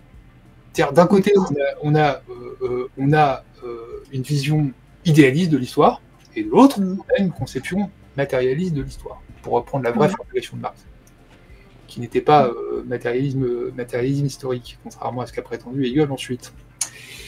Euh, Là-dessus, j'insiste vraiment pour que ce soit vraiment, vraiment clair, quoi. Là-dessus, euh, ce, qui est, ce qui est important, c'est est-ce que ce qui compte ça va être une histoire des grands hommes ou une histoire sociale? Mais une histoire sociale, ça n'est pas une histoire objective. On a encore des groupes humains, on a encore des sujets. Comme, mm. comme euh, la citation que je cherchais tout à l'heure, Marx est clair sur le fait que ce sont les hommes qui font l'histoire. Les hommes en tant que, en tant, en tant que, en tant que collectivité. Et pas en tant que, que, que quoi qu'on dise, euh, quoi qu'on dise euh, Popper dans les conneries qu'il a pu écrire sur la politique, pas en tant que, pas en tant que groupe d'individus atomisés, mais en tant que groupe social. Il s'agit d'une conception qui n'appartient pas à euh, la dichotomie objectif-subjectif. Parce que euh, euh, les gens sont à la fois les créateurs de leur histoire chez Marx, mm. mais cette création est bornée par les conditions objectives. Vous n'aurez pas d'avion à l'époque romaine. Quoi, quoi, quoi que, quoi que, quoi qu'il puisse se passer, vous n'aurez pas d'avion à l'époque romaine. Et vous aurez toujours des gens, vous aurez quand même des gens qui vont rêvasser sur Icar, mais vous, vous aurez personne qui va, qui, va, qui va penser à comment réaliser un avion. Quoi les conditions objectives ne sont pas là. Voilà. Ok. Ça, ok. Mais, mais, mais vous aurez une infinité, une infinité euh, euh, potentielle de, de façons d'être romain à l'époque romaine. Voilà. Ce sont les hommes qui créent l'histoire. Voilà, c'est vrai, euh, c'est vrai collectivement et ça l'est aussi individuellement. C'est juste qu'on ne crée pas, on la, on la crée pas dans un vide. Voilà, c'est matérialiste, c'est pas objectif. C'est pas objectiviste. C'est pas subjectiviste non plus, si vous voulez. C'est, ça répond pas à cette dichotomie. Marx utilise les deux, joue sur les deux tableaux de toute façon. Quoi. oui, voilà. Euh, bref, Aurélie, vas-y, continue. On, a, on finit le paragraphe ou euh, parce que je pense qu'après on pourra commencer. Ça marche. Du point de... bah, on finit le, chapitre du coup. Du point de vue euh, du matérialisme, les individus naissent dans quelque partie d'une structure sociale préexistante qu'ils ne choisissent pas et leur conscience est formée par ce qu'ils font et l'expérience qu'ils acquièrent dans cette structure. L'expérience. Bien que Ouais. Subjectif encore. les problèmes. On avait dit qu'on Marx, Marx passe perpétuellement de l'objectif au subjectif, et dans le, dans le, le, récit qu'en fait Chalmers, il arrive quand même, ce con, à rendre compte de, de, de cet oscillement sans, sans, sans, sans rendre compte. Ça lui échappe complètement. C'est quand même assez fou, quoi. Bien que les individus puissent avoir prise sur la nature de la structure sociale dans laquelle ils vivent, ils vivent, il y aura toujours un clivage entre la structure et les rouages de la société et ses reflets distordus dans l'esprit des individus. Mais ça, c'est pas Marx, ça Les individus, de quoi il, il fait comme si, comme si Marx était, était membre de la société du Mont-Pèlerin, là. Là, en fait, on ne sait pas de qui est la citation. C'est même pas, il n'y a pas de. Bah, c'est une citation, mais on ne sait pas de qui parce que euh, puis en plus il y a des crochets, il y a des gros crochets au milieu, donc en fait euh, la structure et les rouages de la société c'est entre crochets. Hmm. Donc euh, du coup c'est. Il y a des il y a des images mécanistes hein, chez Marx quelquefois. Hmm. Je me demande si ça fait pas aussi partie de contribution à la critique de l'économie politique dont il a tiré la première citation. Mais il n'y a pas de marque, donc. Non, il n'y a pas de. C'est très bizarre. C'est très bizarre que, que, que Marx utilise le terme individu par contre. C'est ça qui me c'est ça qui me choque. Ok. J'avais marre de trouver des hommes, quoi, en fait. Ouais. Ok. L'aboutissement des actes sociaux d'un individu sera déterminé par les détails de la situation sociale et sera généralement fort différent de ce à quoi l'individu s'attendait. De la même manière qu'un physicien qui tente de contribuer au développement de la physique est confronté à une situation objective qui délimite ses possibilités de choix et d'action et qui influence l'issue de ses actes, un individu qui souhaite contribuer au changement social est confronté à une situation objective, qui limite ses, possibilités de choix et d'action et qui influence leur issue. Une analyse de la situation objective est aussi essentielle pour comprendre le changement social qu'elle l'est pour le changement scientifique. Dans le prochain chapitre, je dresserai un tableau tout à fait objectiviste du changement théorique en physique. Ça donne pas envie. Non. Non, mais voilà. Là, il est en train de travestir la pensée de Marx, tout en donnant une relation relativement juste sur un demi-paragraphe. Mais la façon dont lui prétend que Marx est en train de parler l'ampute de la moitié de ce qu'il dit. Oui. Ah bah, Et voilà, ça fait euh, pleurer les enfants du coup. Bravo, bravo Alan, hein. bravo. Ouais, bon. Bah euh, voilà, on peut, on peut avoir. Donc c'était un chapitre sur l'objectivisme qui se termine avec cette présentation catastrophique du marxisme. Ah je suis. C'est pas bien. Donc euh, c'était euh, effectivement c'était pas ouf effectivement le chapitre. Et, Olivier, et bonne nuit n'entend pas du tout ce que dit Germain. Je suis désolé. Hein. Ah tu, tu m'entends pas là? Mais c'est pas parce que j'entendais, j'en- j'entends, euh, j'entends Aurélie. Ah mais je peux, je peux couper, je suis bête. Ah oui ah pardon. Et du coup, je t'en- je Euh, n'entendrai pas Aurélie euh, si elle dit quelque ah, je chose. pense non non mais c'est parce que je l'ai je l'ai mute pour moi mais du coup il faudrait que euh, Quelqu'un la démute. hop là tu devrais plus l'entendre non plus de toute façon. Ah, Mais euh, bref. Bon. Donc euh, ah la revoilà. La revoilà. Hop Il n'y a pas de souci. ça va mieux? Non, mais euh, je gérerai ça après, comme on a fini. On a fini. Tu m'entends pas Ouais, je sais pas ce qu'elle a. On va voir tout à l'heure. Bon. Ouais. Euh, bon, dans tous les cas, on est arrivé au bout. C'était pas génial. Euh, je, je crois que euh, bon, c'était pas exactement la position de Chalmer, contrairement à ce que j'avais dit au début. Mais euh, c'était une présentation euh, pas ouf euh, de, de, de l'objectiviste qui s'est conclue par Mm. cette présentation catastrophique du marxisme. Je sais même pas pourquoi. De Marx. il est- De pardon. Objectivistes chez Marx, j'en connais. hein, euh, Mais euh, bah, il, tenait à mettre Popper, Lakatosh et Marx euh, ensemble juste pour, pour, pour énerver le le, fun. premier. Ouais, pour le fun. Quoi. Bah, ça m'étonnerait qu'il ait, qu'il ait envie d'énerver les deux premiers, parce qu'autant que je me souvienne, Alan, c'est un, un, un bon élève de, de euh. Oui, il en a été l'élève directement, c'est un Lakatoshien. Enfin, Ouais, ouais. ça m'étonnerait beaucoup. ça. Bah, En plus, c'est plus Popper que ça aurait énervé. Ouais. Je crois que Lakatosh, euh, il était un petit peu plus. euh, Il était assez ouvert politiquement pour, pour fréquenter un, un dadaïste comme, euh, comme, comme quand même. Je veux dire. C'est vrai. qui était un libéral hein, euh, quand même euh, politiquement, mais euh, un libéral un peu fun, un petit peu, un petit peu, un petit peu anarchisant, Oui, comme on n'en euh, fait plus quoi. libé- libéral, un peu. euh, un libéral qui était allemand et qui a connu la guerre, donc c'était déjà pas mal. Ouais, voilà. Non, puis voilà, il y, a- y y des degrés quand même Ouais. Rawls, c'est pas, euh, c'est pas, euh, c'est pas euh, merde. C'est pas Von Mises quoi. Voilà. Euh, Mm. C'est pas, c'est pas Rawls qui ferait une apologie du fascisme, euh, par exemple, Euh, comme Mais, euh, sauveur de la civilisation. Euh, Mais parce qu'après, quand tu présentes euh, Feyerabend comme libéral, t'as lu euh, Adieu la raison? Faudrait lire Ouais. Adieu la raison, de ces quatre, parce que justement, il revient, il revient un peu là-dessus. Ouais. Euh, donc, fa- faudra, faudra qu'on faudra Ok. qu'on lise du Feyerabend un jour, mais pas, pas Oui, ce soir. De toute compliqué. façon, ça dépend quel, ça dépend quel, Ça dépend quel Feyerabend. quel Feuerabend, ouais. Les gens, les gens changent. hein. On, on parle, quand on dit Feuerabend, nous, de là où on parle, on parle d'un corpus, on parle pas, on parle plus d'une personne. Mais les gens changent en vrai. Mm. Si euh, je, je, je, je- je le sais assez parce que euh, euh, j'essaye de, de finir mon trait sur sur la, comment dire, la subjonction, subjonction, oui. formelle, sub- sub- subjonction réelle du travail dans, du travail dans le capital chez Marx et du coup ça inclut l'idée de parler de l'aliénation chez Marx parce que c'est des con- des conceptions euh, qui des concepts qui sont intimement liés chez Marx et du coup ça implique aussi de rendre compte de des changements drastiques qu'il y a dans la con- conception de l'aliénation euh, euh, à travers son histoire euh, voilà et de voilà notamment pourquoi il fait ses choix Ouais. à tel point Ouais, ouais. pourquoi il revient dessus après Mais bon, euh, nous avons réussi à aller au bout. Ouais. Voilà, voilà.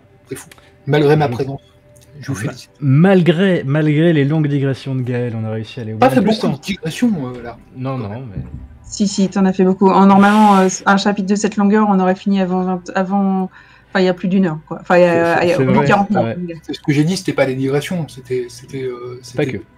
pratiquement que les digressions que j'ai faites étaient quand même super courtes. Il y en avait qui faisaient une phrase.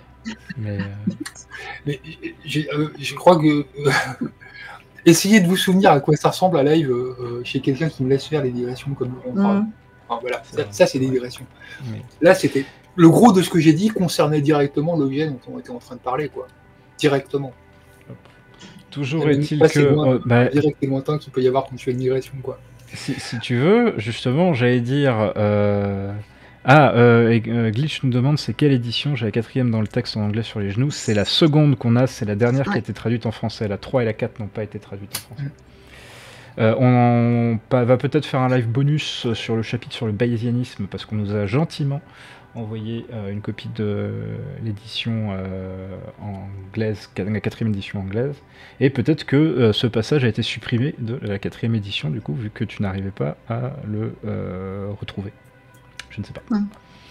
Il faudrait, faudrait comparer parce qu'il le dit lui-même. Déjà, il y a deux éditions entre les entre celle-là et la dernière, et il dit lui-même qu'il il revient dessus tous les 10 ans et il fait quand même des grosses modifs. Quoi. Il rajoute des chapitres et il en vire d'autres. Donc euh, c'est pas rien. Mais euh, ah, euh, on a perdu, Gaël. Ah, c'est pas, c'est pas moi pour une fois. Non, mais lui aussi, ça arrive qu'il ait des problèmes de ah. connexion. bah sinon, je pense qu'on. Ouais. On peut, on peut conclure. Je, pensais, euh, ouais, Red, Red Laurent, Red. Ouais, bah oui, ça fait un moment qu'il a commencé, mais. Ouais. lui, il s'en fiche, hein, que les gens arrivent au milieu. Ouais. Mais ouais, si, je vous envoie, enfin, je, sais qu'il y, a, qu'il y a des gens de qualité qui apprécient aller là-bas, donc euh, et que et, ceux, qui, s'il y a des gens qui le connaissent pas, ils seront contents de le découvrir, j'espère. Euh, il y a du monde ce euh, soir connecté là. Oui, oui, bah, moi je, suis assez pour, ouais. Un petit stream tranquille. Voilà, on va conclure doucement. donc je vais pianoter. Tac, tac, tac. Euh, où qu'il est Il est ici. Qu'est-ce qu'il fait ce soir euh, ah, C'est pas un, live radio libre ou quelque chose comme ça Libre antenne théorique. Je ne sais pas, je ne sais pas euh, ce qu'il a prévu comme mixture, mais euh, voilà. Bah on, espère, bah, on espère que que ça vous a plu. voilà, voilà. Donc on vous envoie là-bas. On vous dit bonne soirée. Et, euh, et à plouche. On verra ce qu'on fait pour la semaine prochaine.